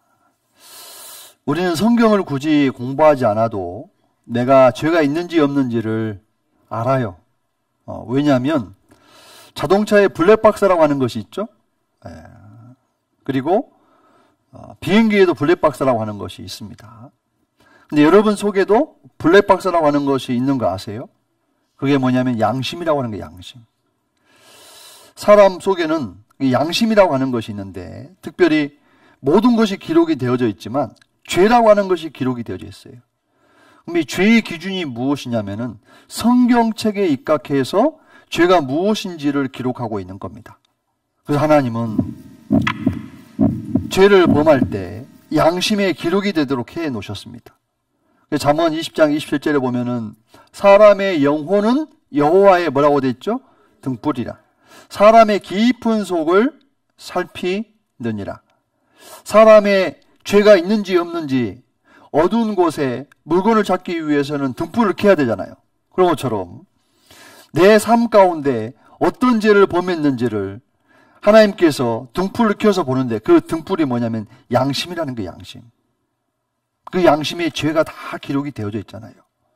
그리고 죄의 기준이 되는 게 무엇이냐? 성경 말씀이라니까요. 여호와는 사람의 영혼을 환히 비추시고 살펴보신다고 되어 있습니다.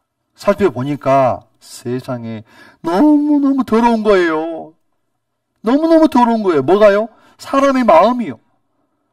모든 만물보다 거짓되고 썩어 문드러졌는데 심히 썩어 문드러진 것은 사람의 마음이라. 누구 마음이요? 내 마음에 내 마음.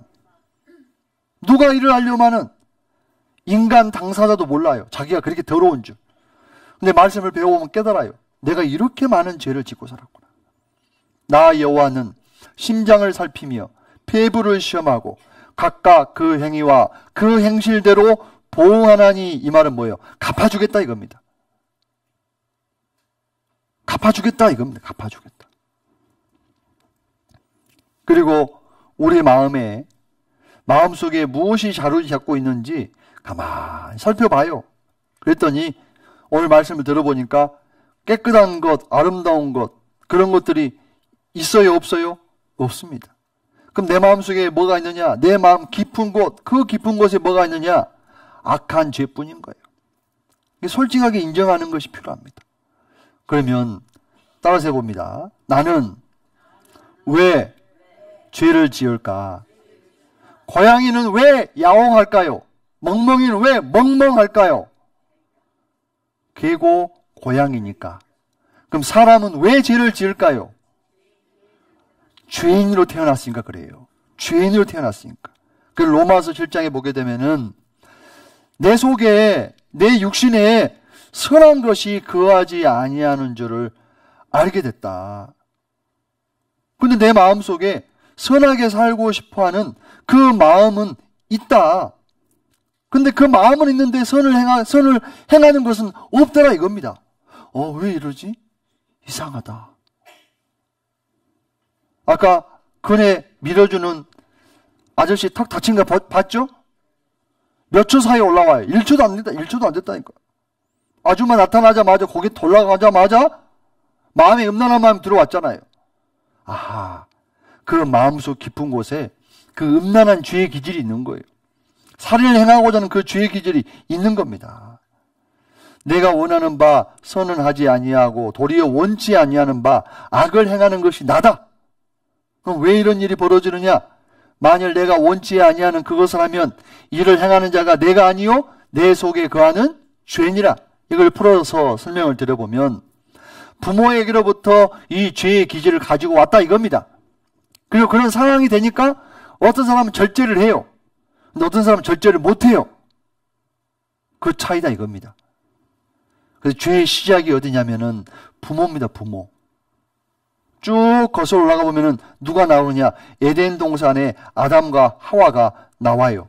하나님은 아담에게 동산 나무 각종 나무의 실과는 내가 임의로 먹되 선악을 알게 하는 나무의 실과는 먹지 말라. 내가 먹는 날에는 정령 뭐라고 됐죠? 죽으리라고 죽으리라. 사람은 육체가 있고 영혼이 있는데 육체는 지금 살아 있으니까 말씀을 듣잖아요. 근데 죄를 범하는 순간 그 영혼이 죽었다. 하나님 이렇게 표현해요. 그 사람이 두 번 태어나지 않으면 천국에 가지 못한다라고 예수님 말씀하셨는데 한 번은 엄마 뱃속에 태어나야 되고 한 번은 죄 때문에 죽었던 영혼이 예수님을 통해서 죄 문제가 해결되어져야만이 천국에 갈 수가 있는 거예요. 그럼 죄 문제가 해결되기 이전에 내가 죄인이라는 걸 깨달아야 돼요. 맞죠? 맞잖아요. 그래서 뱀이 하와에게 먼저 유혹했죠. 너희가 결코 죽지 아니하리라. 죽지 아니하리라. 이 말에 속아서 선악과 열매를 먹은 겁니다. 여자가 그 실과를 따먹고 자기와 함께한 남편에게도 주매 그도 먹은지라. 주고 주잖아요. 먹은 겁니다. 우리 최초의 부모 아담과 하와가 범죄해 가지고 그 죄의 기질이 우리 부모에게로부터 해서 나에게까지 온 겁니다. 그리고 내 자식에게까지 간 거예요. 흑인, 백인, 확인종 상관없이 똑같은 그 죄의 기질이 있는 겁니다. 그 로마서 5장 12절에 이러므로 한 사람으로 말미암아 죄가 세상에 들어오고 이러므로 아담으로 말미암아 윤종현이에게 죄가 들어오고 죄로 말미암아 윤종현이에게 사망이 왔나니 이렇게 읽어도 맞는 거예요. 아하. 내가 태어날 때부터 무슨 기질을 가지고 태어났다고요? 죄의 기질을 가지고 태어났다 이겁니다. 죄의 시작은 누굽니까? 아담과 하와입니다. 제일 위에 보시면 죄의 시작은 아담과 하와로부터 시작이 돼가지고 누구에게까지 죄가 죄의 기질이 왔느냐? 나에게까지 죄의 기질이 온 겁니다. 죄의 기질을 우리가 물려받은 거예요. 성씨만 물려받은 게 아닙니다. 김씨, 이씨, 박씨 그 성씨만 물려받은 게 아니라 죄의 기질도 물려받은 거예요. 한 사람의 순정치 아니함으로 많은 사람이 죄인 된 것 같이 나라고 하는 사람이 이렇게 있는데 이 사람이 아담에게로부터 물려받은 그 죄의 기질을 아버지에게로부터 할아버지에게로부터 쭉 물려받은 거예요. 그래서 이사야 성경의 1장 4절에 이 종자를 행악의 종자 이렇게 표현해요. 무슨 종자요? 행악의 종자, 행악의 흉악하고 사악한 종자라는 뜻입니다. 이런 죄의 기질을 가지고 태어난 거예요. 그래서 다윗이 우리아의 아내 바세바를 취한 이후에 깨달은 것이 있었어요. 내가 엄마 뱃속에서부터 죄인으로 태어났구나. 죄의 기질을 가지고 태어났구나. 내가 죄악 중에 출생하였으며 모친이 죄 중에 나를 잉태하였나이다. 틀림없이 나는 태어날 때부터 죄가 가득 차 있었습니다. 태어날 때부터입니다. 어머니가 나를 임신한 순간부터 죄가 가득 차 있었습니다. 근데 어린아이 때는 죄를 지을 수 있는 힘이 없어요. 탱자나무가 처음부터 탱자가 맺히는 게 아니잖아요. 가시나무가 처음부터 가시를 맺히는 게 아니거든요. 시간이 지나면서 나오거든요. 그래서 어릴 때부터 죄를 짓는 악인이 있습니다. 악인은 모태에서부터 멀어졌으며 나면서부터 곁길로 나아가 뭐를 말합니까? 거짓말이에요, 거짓말. 좀 더 성장하면 어떻습니까? 내 거는 원래 내 거, 네 것도 내 거. 그래서 서로 막 뺐잖아요. 그리고 넘버 원이었는데 앉아있는 애가 둘째가 태어나니까 넘버 투가 되니까 화가 나는 거예요. 그래서 아무도 없으니까 때리는데 봐보세요. 눈 실명되게 생겼다니, 눈. 좀 더 크면 이제 마트 가죠? 마트 가가지고 어떻습니까? 나 사탕 먹을래. 부모가 안 된다고 얘기하죠? 이제 전쟁이 벌어집니다.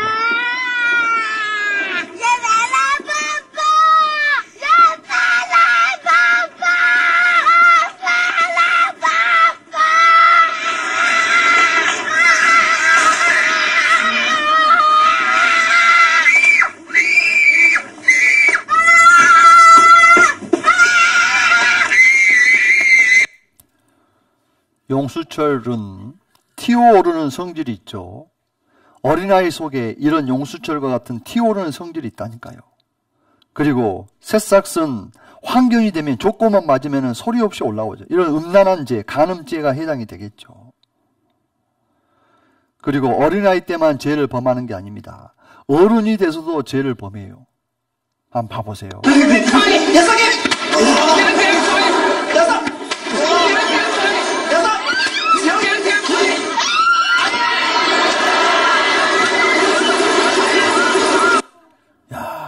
무지막지하게 나오죠.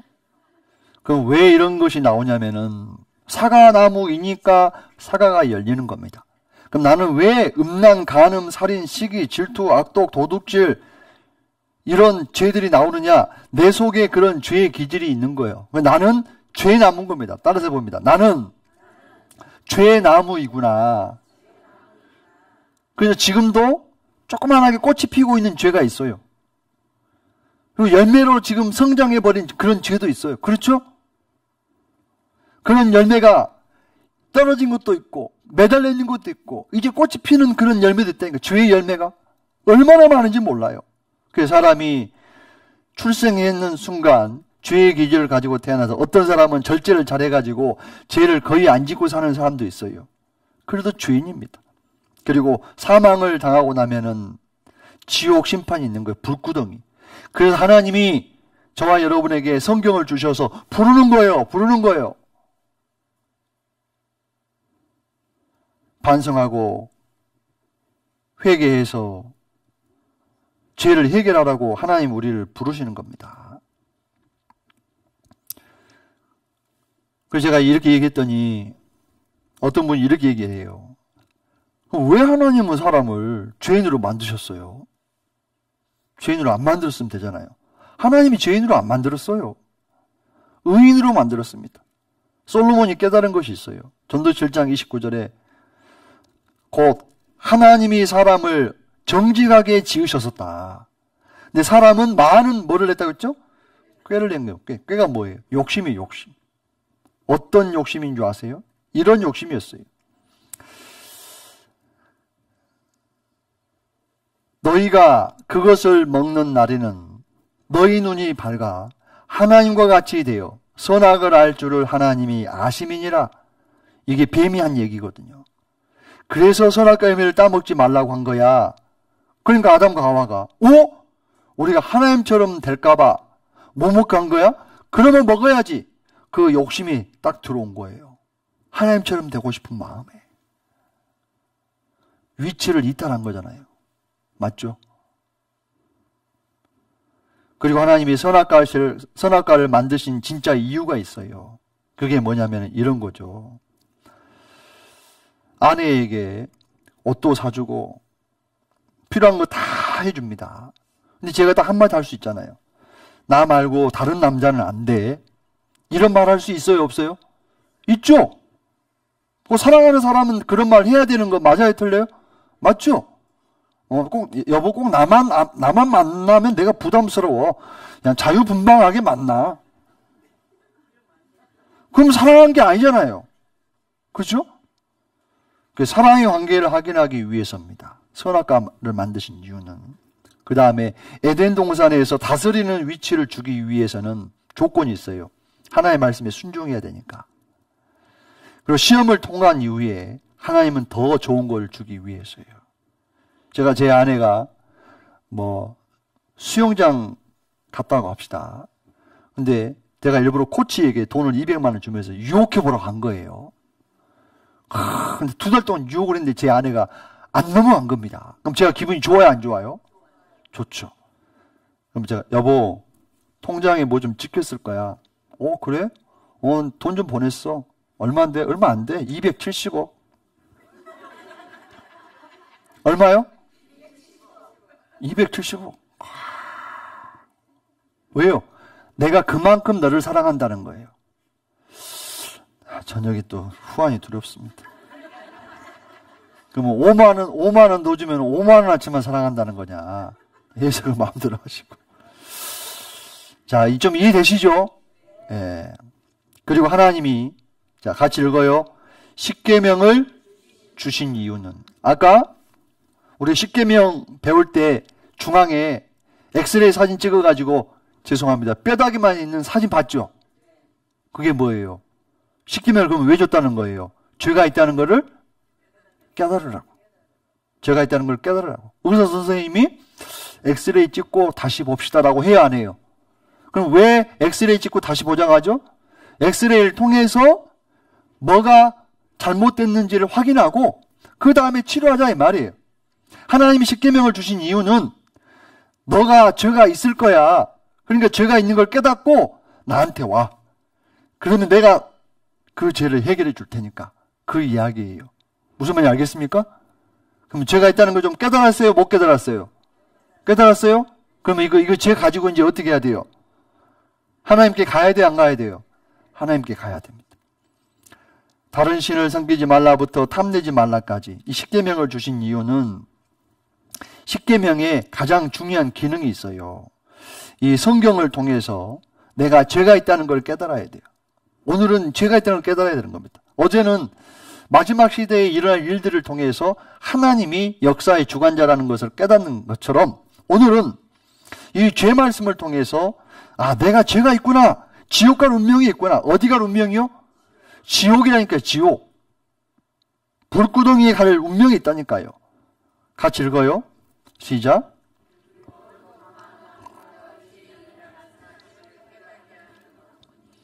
율법은 우리가 죄인이라는 사실을 깨닫게 하는 것 뿐이에요. 아, 엑스레이 기계가 나를 낫게 해줘요? 아니에요. 엑스레이 기계는 내가 몸 상태가 어떻다는 걸 깨닫게 해주는 거예요. 그 로마 3장 20절에 그러므로 율법의 행위로 십계명을 지켜서 이런 얘기입니다. 하나님 앞에 죄 없다고 의롭다고 할 사람은 없습니다. 이런 말이에요.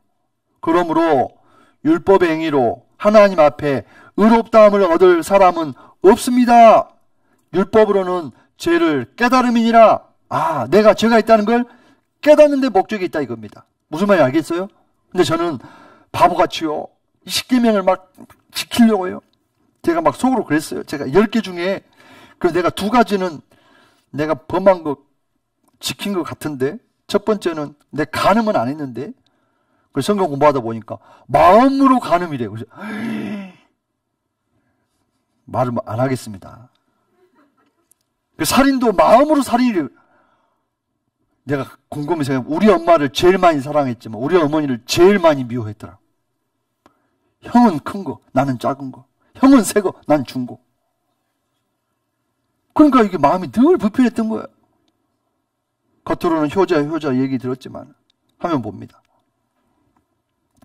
그래서 율법으로는 죄를 깨닫는 겁니다. 이 사람이 지금 엑스레이 기계 앞에 서 있잖아요. 맞죠? 자기 상태가 어떤지 깨달았잖아요. 그럼 이제 의사한테 가야 돼, 안 가야 돼요? 가야 돼요. 그럼 내 죄병을 고쳐줄 수 있는 분이 이 세상에는 있을까요, 없을까요? 내일 여기 한림병원하고 세종병원 가가지고 접수대 가서 제가 아파서 왔는데요. 그래 보세요. 어디가 아프세요? 내가 제병을, 제병이 있는데요. 그럼 접수대에서 농담하세요. 그럴 거예요. 제병을 고쳐주는 의사는 없어요. 의사도 제병이 걸려 있어요. 맞죠? 그럼 이 제병을 고쳐줄 수 있는 분이 누구냐? 하나님밖에 안 계시는 거예요. 맞죠? 네. 그리고 율법은 예수님께 인도하는 안내자, 가이드 역할을 하는 겁니다. 갈라디아 3장 24절에 보게 되면은 이같이 율법이 우리를 그리스도에게로 인도하는 몽학 선생이 되어 우리로 하여금 믿음으로 말미암아 의롭다함을 얻게 하려 함이니라. 아, 의롭게 되는 것은 믿음으로예요. 믿음으로. 뭐, 뭐라고요? 믿음으로. 내가 뭔가를 해서가 아니라 하나님께서 내 죄를 해결하기 위해 하신 일이 있어요. 그건 내일 배울 거예요. 그 일을 믿음으로 내가 의롭가 의롭다함을 얻게 된다는 겁니다.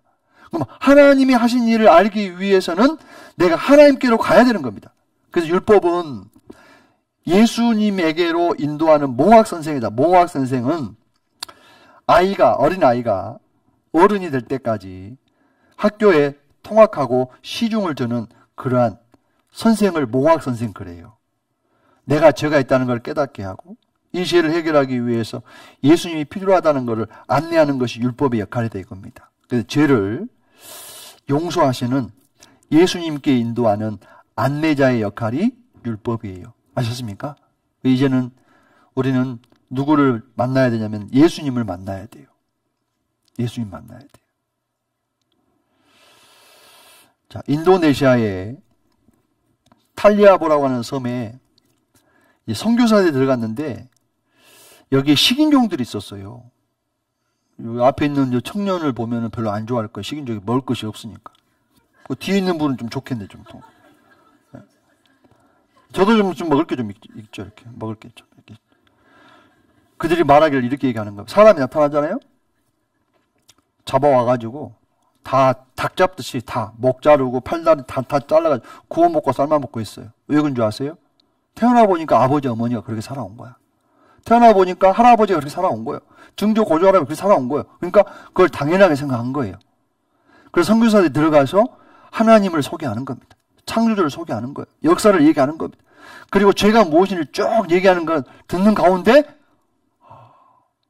우리가 큰 죄를 범했구나. 살인죄를 범했구나. 그걸 깨달은 거예요. 뭘 통해서 깨달았죠?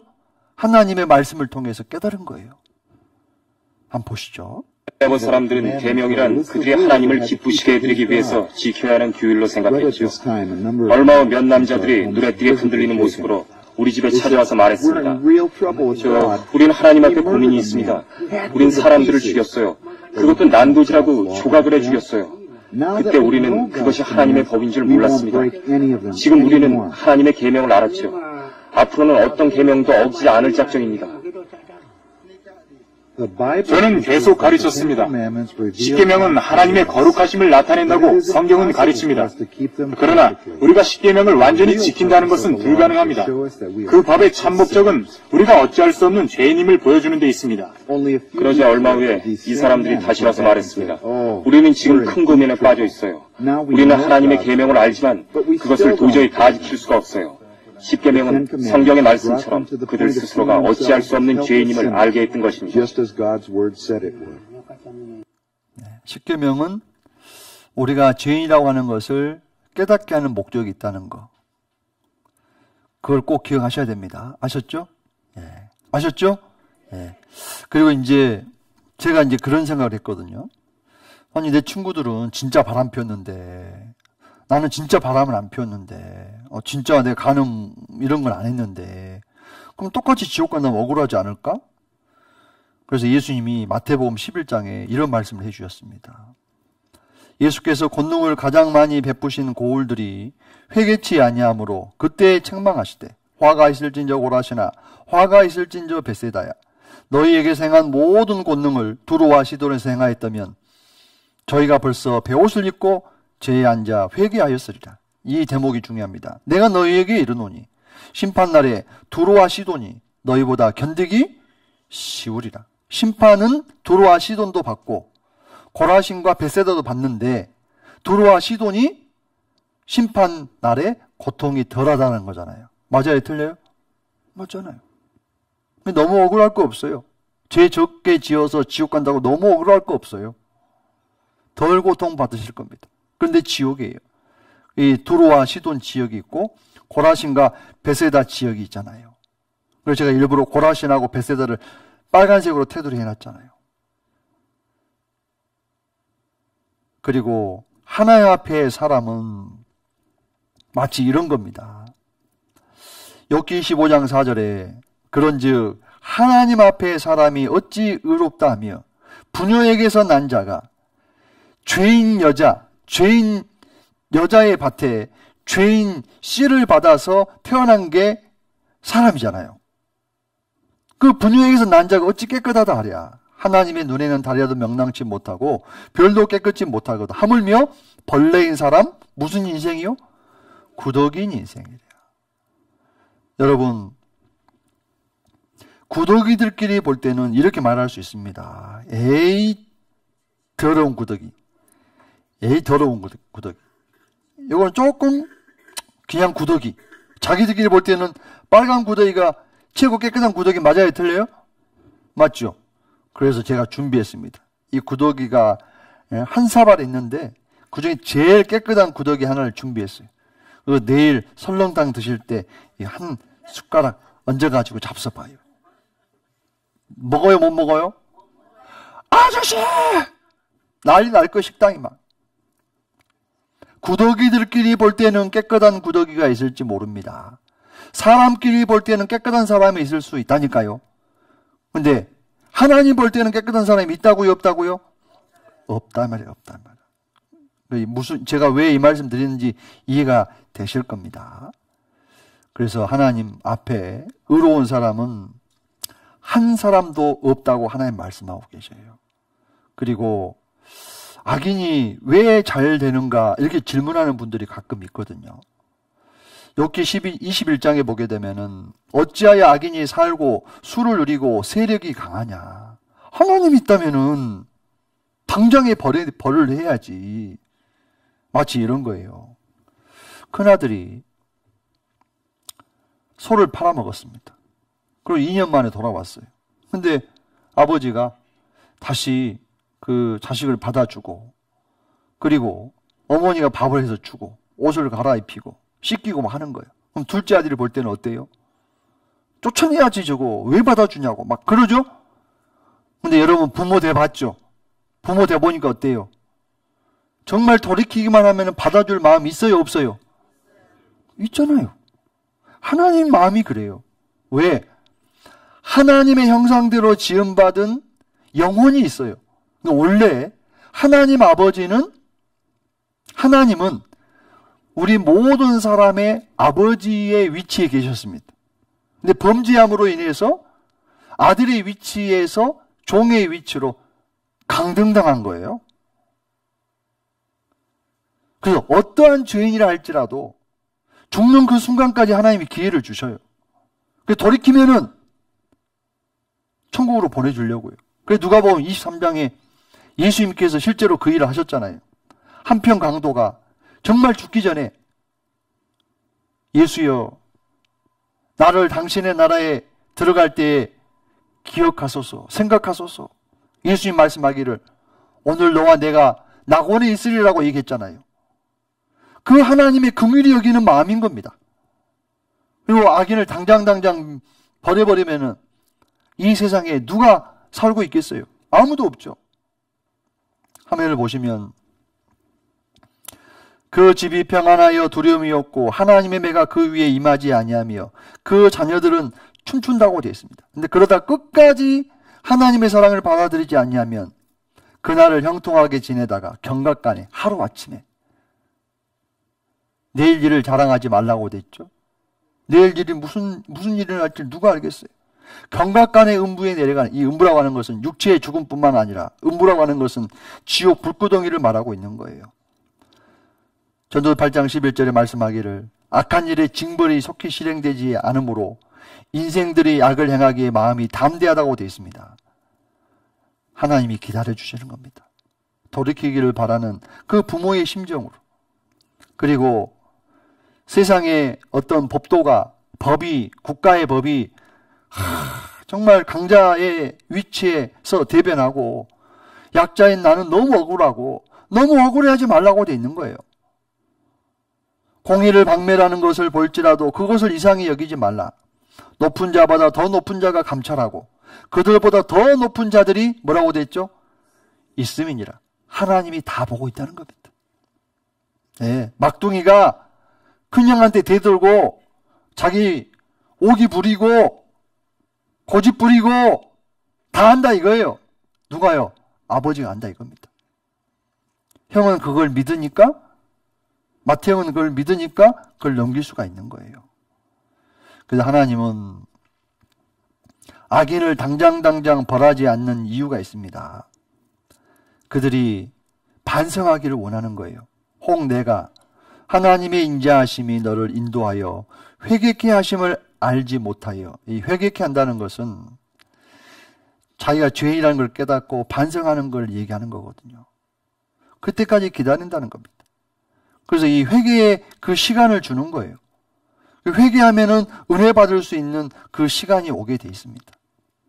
그래서 오늘 아 내가 죄가 있구나.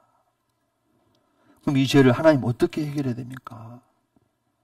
도와주십시오. 잘못했습니다. 이게 의사 선생님한테 가서 하는 얘기잖아요. 선생님 제가 건강한 줄 알았더니 폐암이네요. 그럼 제가 뭘 어떻게 하면 되죠? 선생님 손에 맡깁니다. 몇월 며칠 날 시간 되세요? 아, 시간 됐나, 되냐니요? 당연히 내야죠.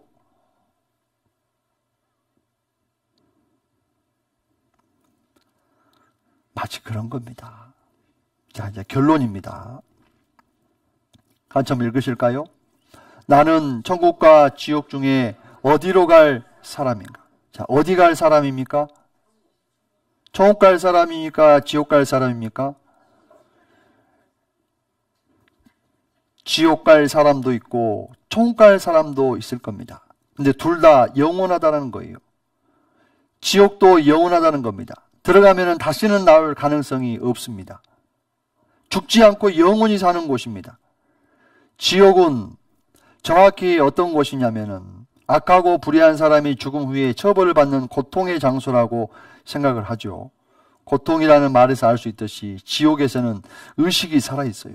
영혼만 먼저 가 있다가 나중에 육체가 결합된다고 돼 있거든요. 육체의 고통도 힘들지만 마음의 고통은 더 힘들잖아요. 영혼만 지옥에 가 있지만 그 고통이 있다고 돼 있습니다. 그 지옥은 누가 가느냐? 사랑을 받아들이지 않는 사람이 가요. 하나님은 우리의 죄를 용서해 주시려고 준비하고 계십니다. 근데 죄인이 죄인인 것을 못 깨닫고 죄인인 걸 못 깨달으니까 하나님께 나오지 않은 거예요. 그러니까 하나님께서 그 죄를 용서해 주는 그 사랑을 베풀어 놨는데 그 사랑을 깨닫지 못했으니까 두려움이 여전히 있는 겁니다. 그 두려움에는 형벌이 있습니다. 하나님의 사랑을 받아들이지 않는 사람, 그 사람에게는 형벌이 있는 거예요. 하나님의 사랑을 받아들이면은 두려웠던 그것이 사라지게, 사라지고 평안이 찾아오게 되어 있는 겁니다.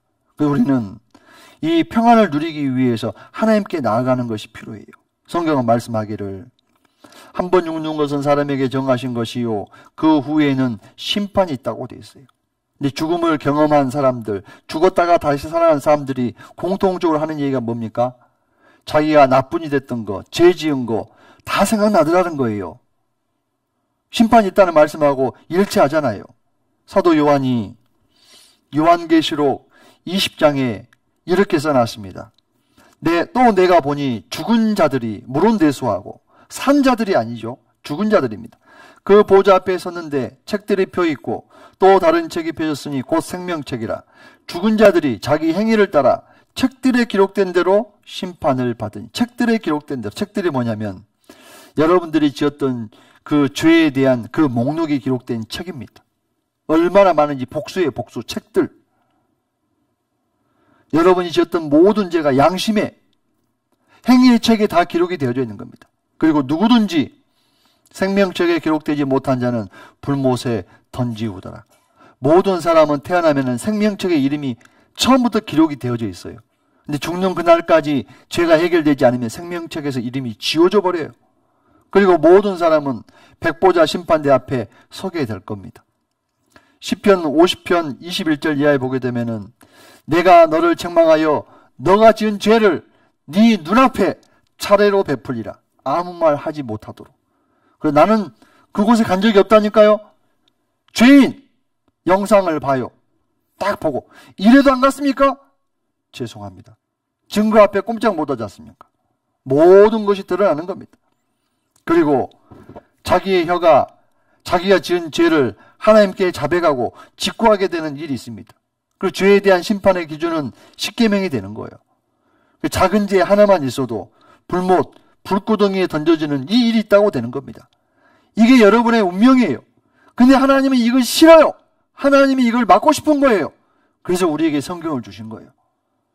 이 성경책 속에 지옥에 가지 않는 그 길이 있다니까요. 이 세상은 어둠의 세상입니다. 그러니까 죄가 있는데도 죄가 안 보여요. 이 죄가 있는데 죄가 있는데 죄가 안 보여요. 왜 어둠의 세상이니까. 근데 하나님의 심판대는 백보자 심판대입니다. 흰 백자예요. 그러니까 작은 죄를 짓고 어떻게 인생을 살아왔는지 다 알죠. 그래서 육신이 죄를 범하면 어떻게 됩니까? 죄가 드러나게 되면은 교도소에 가죠. 내 영혼이 행위와 마음으로 죄를 범하면 어디 갑니까? 지옥에 가는 거예요. 그래서 하나님 우리에게 이걸 막기 위해서 성경을 주셨습니다. 성경을 공부해 보니까 이게 사실이잖아요. 창조의 역사 사실이잖아요. 흘러온 역사도 사실이잖아요. 이게 땅의 일이 사실이잖아요. 그러니까 하늘 일도 사실인 거예요. 그리고 지옥에 대한 경고의 말씀이 이렇게나 많습니다. 마태복음 10장 28절에 몸은 죽여도 영혼은 능히 죽이지 못하는 자들을 두려워하지 말고 영혼은 안 죽습니다. 영원토록 사는 거예요. 근데 어디서 사느냐라고 하는 겁니다. 그리고 마지막에는 죽었던 육체까지 부활시켜서 영혼과 결합시켜서 지옥에 단, 다시 집어 던져 넣는다고 되어 있습니다. 그래서 오직 몸과 영혼을 능히 지옥에 멸하시는 자를 두려워라고 되어 있고 이와 유사한 말씀이 이렇게나 많은 겁니다. 지옥이라고 하는 것은 같이 읽어요. 회개하지 않은 죄인이 심판 후에 가는 곳입니다. 네. 회개하지 않은 죄인이 심판 후에 가는 것. 반성하지 않는 죄인이 심판 후에 가는 거예요. 그럼 우리는 죄에 대한 반성을 하면은 지옥에 안 갈 수 있다는 얘기잖아요. 그럼 이제 우리가 해야 될 일은 뭐예요? 반성하는 거예요. 내가 죄인이라는 걸 반성하는 것 뿐이에요. 그 나머지는 하나님의 손에 맡기는 겁니다. 그 지옥은 슬피 울며 이를 가는 것이고 구더기도 죽지 않고 꺼지지 않는 불로 소금치듯 하는 것이고 물이 없어요. 영원히 구출될 가능성이 없습니다. 단테의 신곡 지옥편에서 이렇게 이야기를 했습니다. 지옥 여기에 들어오는 자 모든 희망을 버려라. 왜? 지옥은 몇 달, 몇 년 사는 게 아니에요. 영원히 사는 거예요. 그래서 예수님이 그토록 성경을 통해서 우리에게 경고하고 계시는 거예요. 천국 갈래, 지옥 갈래 이런 질문에 누구도 지옥 갈 거야 이렇게 말하는 사람 거의 없습니다. 본능적으로 그것이 어떤 것인지 아는 거죠. 그럼 지옥은 원래 무슨 목적으로 만들었느냐? 타락한 천사들을 집어넣으려고 만든 곳이 지옥, 지옥이에요, 지옥. 근데 인생이 아담 하와가 하나님을 보고 섬기다가 마귀의 게임에 넘어갔다니까요. 모든 인생이 마귀의 게임에 넘어가서 지옥을 향해 가고 있다니까요. 그러니까 하나님 편에서 얼마나 답답하겠냐 이 말이에요. 그리고 불과 유황으로 밤낮 쉬지 못하는 고난이 있는 곳이 지옥입니다. 그래서 지옥에 가는 사람이 누구냐면은 두려워하는 자들. 아, 내가 이런 죄를 지었구나. 마음과 생각으로 이렇게 많은 죄를 지었구나. 어쩌지? 그리고 이런 강연회를 못 듣고 성경을 모르는 사람은 믿지 않아요. 왜? 모르니까요. 그리고 살인자, 행음자, 술객들, 우상숭배자들, 모든 거짓말하는 자들은 불과 유황으로 타는 못에 참여하리니 이것이 몇 번째 사망입니까? 둘째 사망이에요. 첫 번째 사망은 뭘까요? 육체의 사망. 둘째 사망은 지옥 심판받는 사망을 둘째 사망이라고 하는 겁니다. 지옥과 천국에 대한 영상을 좀 준비해 봤습니다. 뒤에 나오는 그곳에 갔으면 좋겠어요. 뒤에는 모든 사람이 하나님의 보좌 앞과 전사 앞에서 심판을 받으리라. 내가 살았노니 모든 무릎이 내게 꿇을 것이요 모든 혀가 하나님께 자백하리라. 두려워하는 자들과 믿지 않는 자들과 흉악한 자들과 살인 자들과 음란한 자들과 귀신 우상 숭배자들과 모든 거짓말하는 자들은 불과 유황으로 타는 못에 던지우니 이것은 둘째 사망 곧 불못이라. 누구든지 생명책에 기록되지 못하는 자들은 불못에 던지우리라. 그 몸과 영혼이 밤낮 힘을 얻지 못하고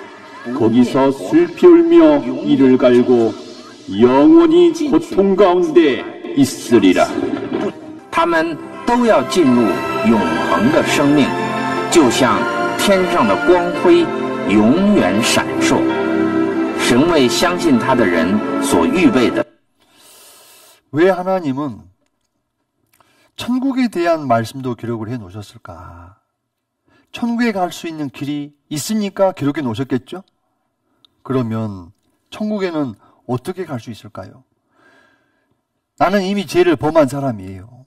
죄가 없을 수는 없잖아요? 그럼 죄를 용서받으면 되잖아요. 그럼 죄를 용서받기 위해서는 따라서 해봅니다. 죄의 싹슨 사망이요.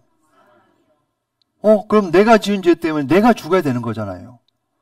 근데 나는 죽지 않고 내 죄가 해결되려면은 내 대신 누군가가 사망을 당해야 된다는 거잖아요. 옆에 사람 쳐다봐요. 당신이요? 해봐요. 안 돼요. 왜 안 된 줄 아세요? 옆에 있는 사람도 죄인이요. 나도 죄인이요. 그 사람 보면 안 돼요. 사람한테는 해결할 사람이 없어요. 그래서 이제 누구한테 얘기해야 됩니까? 하나님께 얘기해야 돼요. 하나님께. 하나님께 이야기해야 돼요. 천국도 영원하고 지옥도 영원합니다. 나는 영원한 시간을 어디에서 보내게 될까요? 여러분 버스 탈 때도 지하철 탈 때도 앉아서 가고 싶잖아요. 좋은 자리에 앉고 싶잖아요. 영화관 가서도 좋은 자리에 앉고 싶잖아요. 계속 버스에 앉아 있습니까? 계속 영화관에 앉아 있는 거 아니잖아요. 근데 영원토록 시간을 보내야 되는 곳이 있다니까요. 천국이냐 지옥이냐 둘 중 하나예요. 여러분 어디로 가야 될까요? 천국에 가려면은 반성해야 됩니다. 회개해야 돼요. 이곳이 얼마나 고통스러웠는지 예수님께서 우리에게 이렇게 경고하셨어요. 만일 내 손이 너를 범죄케 하거든 찍어버려. 여러분 손 봐보세요. 이 손이 죄 지었어요, 안 지었어요? 그럼 이걸 찍어버리래요. 또 네 발이 너를 범죄케 하거든 찍어버려. 여러분 발 한번 봐봐요. 이 발로 죄 짓는데 갔어요, 안 갔어요? 그러면 이 한 발 찍어버리래요. 또 화면 보시면 만일 내 눈이 너를 범죄케 하거든 빼어버리라고 돼 있는 거예요. 여러분 눈 하나 빼고 팔 하나 자르고 다리 하나 자르고 그러면 사람이 장애가 되잖아요. 장애. 장애가 있잖아요. 장애가. 근데 예수님 뭐라고 말씀하신지 아세요? 만일 내 눈이 너를 범죄케 하거든 빼어버리라. 한 눈으로 한 눈으로 하나님 나라에 들어가는 것이 천국에 들어가는 것이 낫지 않겠느냐? 두 눈 멀쩡해 가지고 지옥 가는 게 낫겠느냐? 한 눈만으로 천국 가는 게 낫겠느냐? 선택하라는 거예요. 그만큼 심각한 얘기입니다. 제가 할머니 한 분 상담할 때 실제로 있었던 일이에요. 제가 이렇게 얘기했더니 할머니가 손을 딱 내밀어요. 뭐예요? 그러더니 손 잘라야 된다면서요. 그래서 제가 그랬어요. 착두가 좋아요. 할머니 표정이요. 정말 진지했습니다. 그분 구원받았어요. 구원이라고 하는 것은 지옥 갈 영혼이 죄를 용서받아서 사망에서 생명으로 지옥 갈 사람이 천국 갈 사람으로 운명이 바뀌었다. 그거를 구원할 구자에 도론자, 도론자. 내가 구원을 받긴 받았는데 내 힘이 아닌 하나님의 도움으로 내가 구조됐다. 이런 뜻입니다. 이제 저와 여러분이 할 일은 딱 하나밖에 없어요. 따라서 해봅니다. 하나님, 저는 죄인입니다. 불쌍히 여겨 주시옵소서. 이거 외에는 다른 길이 없어요. 그리고 하나님은요, 반성하라는 소식을 여러 번 여러분에게 전했어요. 사람은 관심이 없어서도 하나님은 한 번 말씀하시고 또 말씀하셨다. 여러분의 길을 여시고 도장 치듯이 교훈하셨다고 되어 있습니다. 하나님이 사람에게 이 모든 일을 제삼 행하심은 그 영혼을 영혼을 죽어있던 여러분의 영혼을 죄로 인해서 죽어있던 그 영혼을 구덩이에서 끌어 돌이키고 생명의 빛으로 그에게 비추려 하심이라. 생명의 빛은 천국의 빛을 말해요. 이 생명의 빛은 예수님을 통해서 오는 겁니다. 그 내일 예수님을 통해서 여러분의 죄가 해결되는 이 일이 있어야 되는 거예요. 그럼 어떻게 해야 죄를 해결할 수 있느냐? 첫 번째, 어떻게 해야 죄를, 병을 고칠 수 있느냐? 병이 걸렸다는 걸 알아야 돼요. 맞죠? 내가 죄를 해결하기를 원한다면은, 아, 내가 죄가 있다는 걸 알아야 돼요. 여러분, 죄 있는 거 아시겠어요? 두 번째는 이 죄로 인해서 어디가 운명에 있다는 거예요. 지옥 갈 운명이 있다는 겁니다. 그 세 번째는 내가 이미 지은 죄보다 용서를 구하지 않는 죄가 더 크다는 걸 알아야 돼요. 그리고 네 번째는 회개는 진노와 저주를 멈추고 축복이 있게 하는 힘이 있습니다. 부모님이 너 잘못해서 안 했어. 아버지, 제가 죽을 죄를 지었습니다. 정말 잘못했습니다. 하면은 아버지의 진노를 멈춰야 안 멈춰요. 아버지가 뭐라고 얘기합니까? 씻고 밥 먹어. 얘기하죠. 다섯 번째는 죄를 인정하고 부탁해야 됩니다. 부탁하는 것은 기도한다는 거예요. 그럼 이제 기도해야 돼요? 안 해야 돼요? 기도해야 됩니다. 여기에 두 사람이 있습니다. 하나는 여기 보니까 하얀 좋은 옷을 입고 성전에서 하늘을 향해서 기도합니다. 이렇게. 죄인의 모습이에요. 자기 잘났다고 지금 얘기하고 있는 거예요. 자기 잘났다고 하는 거예요. 저는 소득의 11조를 드리고 간음을 행치 아니하고 일주일에 두 번씩 금식도 하고 이렇게 살 수 있도록 해주신 것을 감사드리나이다. 이 바리새인이 그렇게 기도한 거예요. 하나님 볼 때 이 사람 옳은 거예요? 잘못된 거예요? 잘못된 거예요. 마음으로는 온갖 죄를 다 짓고 그 태어날 때부터 죄인으로 태어났는데 그걸 깨닫고 자기가 죄임을 인정해야 되는데 뻔뻔한 거예요. 그런데 뒤에 있는 이 사람은 세금을 징수하는 관리인데 세리예요, 세리. 너무나 많은 세금을 몰래 훔친 거예요. 자기가 봐도 죄인이고 다른 사람 봐도 죄인인 겁니다. 근데 세리라고 다 이렇게 오는 건 아니에요. 세리 중에서도 내가 무슨 죄를 지었다고 다 그렇게 살아가는 거지 뭐. 근데 이 세리는 자기가 죄인인 걸 진짜 깨달은 겁니다. 그리고 가슴을 치면서 하나님이여 나를 불쌍히 여기옵소서. 나는 죄인으로소이다. 기도했습니다. 기도했어요. 자, 마태복음 7장 21절에 보면은 나더러 주여 주여 하는 자마다 천국에 다 들어갈 것이 아니오. 그러면 주여 주여 했으니까 하나님 믿는다고 하는 사람 맞죠? 그런데 다만 하늘에 계신 내 아버지의 뜻대로 행하는 자라야 들어가리라. 하나님 아버지의 뜻이 뭐예요? 죄 말씀을 통해서 내가 죄인이구나 라고 하는 걸 깨달아야 되고 십계명을 통해서 내가 죄가 있구나 라는 걸 깨달아야 되고 그리고 내가 지옥 갈 운명이 있구나 라는 걸 깨달아 알고 하나님 앞에 죄를 용서해 달라고 기도해야 되는데 자기의 의, 자기 노력으로 가겠다고 하는 겁니다. 그것이 자기의 뜻이지 아버지의 뜻은 아니잖아요. 예수님 말씀하셨습니다. 그날에 많은 사람이 나더러 이르되 주여 주여 우리가 주의 이름으로 선지자 노릇하며 주의 이름으로 귀신을 쫓아내며 주의 이름으로 많은 권능을 행치 아니하였나이까 하리니 자 하나님하고 상관없는 노력을 많이 했어요. 예수님 말씀하기를 그때 내가 저희에게 밝히 말하되 내가 너희를 도무지 알지 못하니 불법을 행하는 자들아 내게서 떠나가라 하리라. 불법이 뭐예요? 죄인인데 의인이라고 생각하고 살아가는 거예요. 그게 죄죠, 죄. 맞죠? 그래서 이제 죄인이 할 수 있는 유일한 것은 하나밖에 없습니다. 자, 같이 한번 읽어볼까요? 하나님, 저는 죄인입니다. 용서해 주세요. 근데 이 죄를 용서해 달라고 할 때 정말 간절하게 부르짖는 그 소리가 반드시 있어야 됩니다.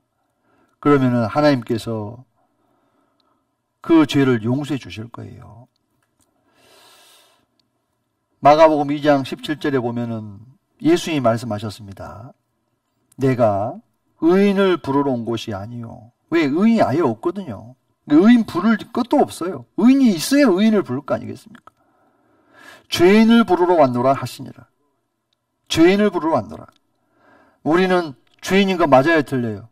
맞아요. 그러면 예수님이 나를 불러요. 죄인 오라고 부르는 겁니다. 그럼 우리가 예수 에게 가야 돼, 안 가야 돼요? 가야 됩니다. 가면은 죄 문제를 내가 해결하는 게 아닙니다. 누가 해결하느냐? 사람은 할 수가 없어요. 그 마태복음 19장 26절에 예수께서 저희를 보시며 가라사대 사람으로는 할 수 없으되 죄 문제를 사람은 해결할 수 없다.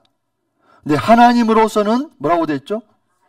다 할 수 있다. 어떤 죄인의 죄도 용서할 수 있다 없다? 있다. 여기 부모님들 계시니까 한번 물어봅시다. 여러분 자식들이 어떤 죄를 지었어도 정말 뉘우치고 돌이키면 용서해 주실 거예요? 안 주실 거예요? 대답 안 하시는 분들은 뭐예요? 아, 결혼을 안 했구나. 용서해 주죠. 하나님 아버지 마음이 그래요. 내가 하는 것은 하나님 이걸 용서해 줄까, 용서해 주지 않을까, 이게 아니라 내가 진심으로 이 죄에 대해서 뉘우치고 있느냐, 이게 중요한 겁니다. 자, 마지막 말씀입니다. 예레미야 29장에 보게 되면은 나 여호와가 말하노라 죄인인 너를 향한 나의 생각은 내가 하나니 지옥에 가는 것이 아니라 평안이요 천국이요 너희 장래에 소망을 주려 하는 생각이라 너희는 내게 부르짖으며 와서 내게 기도하면 내가 너희를 뭐라고 됐죠? 들을 것이요 너희가 전심으로 나를 찾고 찾으면 나를 만나래 전심이 뭐예요? 온 마음을 말하는 겁니다. 부모는 압니다. 이 자식이 매 안 맞으려고 건성으로 반성하는지 진심으로 반성하는지 알아요 몰라요? 알잖아요. 하나님도 아십니다. 자 여기에 한 사람이 있는데요. 모자를 벗었네요. 성경책 위에 손을 얹고 있어요. 뒤에 있는 짐이 뭐냐면 죄짐이다 죄짐. 아무리 바쁘고 힘들어도 가장 우선시해야 될 일이 뭐냐면 죄짐을 해결하는 거예요. 죄짐. 그래서 이 죄를 용서해 달라고 하나님께 기도하는 게 필요해요. 자기 죄가 용서되신 분들은 용서해 주신 하나님께 감사를 드리시고 죄가 해결이 아직 안 되신 분들은 하나님 앞에 세리처럼 하나님 나는 죄인입니다. 불쌍히 여겨 주시옵소서. 이런 기도가 있었으면 좋겠어요. 잠시 기도할 수 있는 시간을 드리겠습니다. 두 눈을 감으시고 두 손을 모으시고 기도하시기 바랍니다.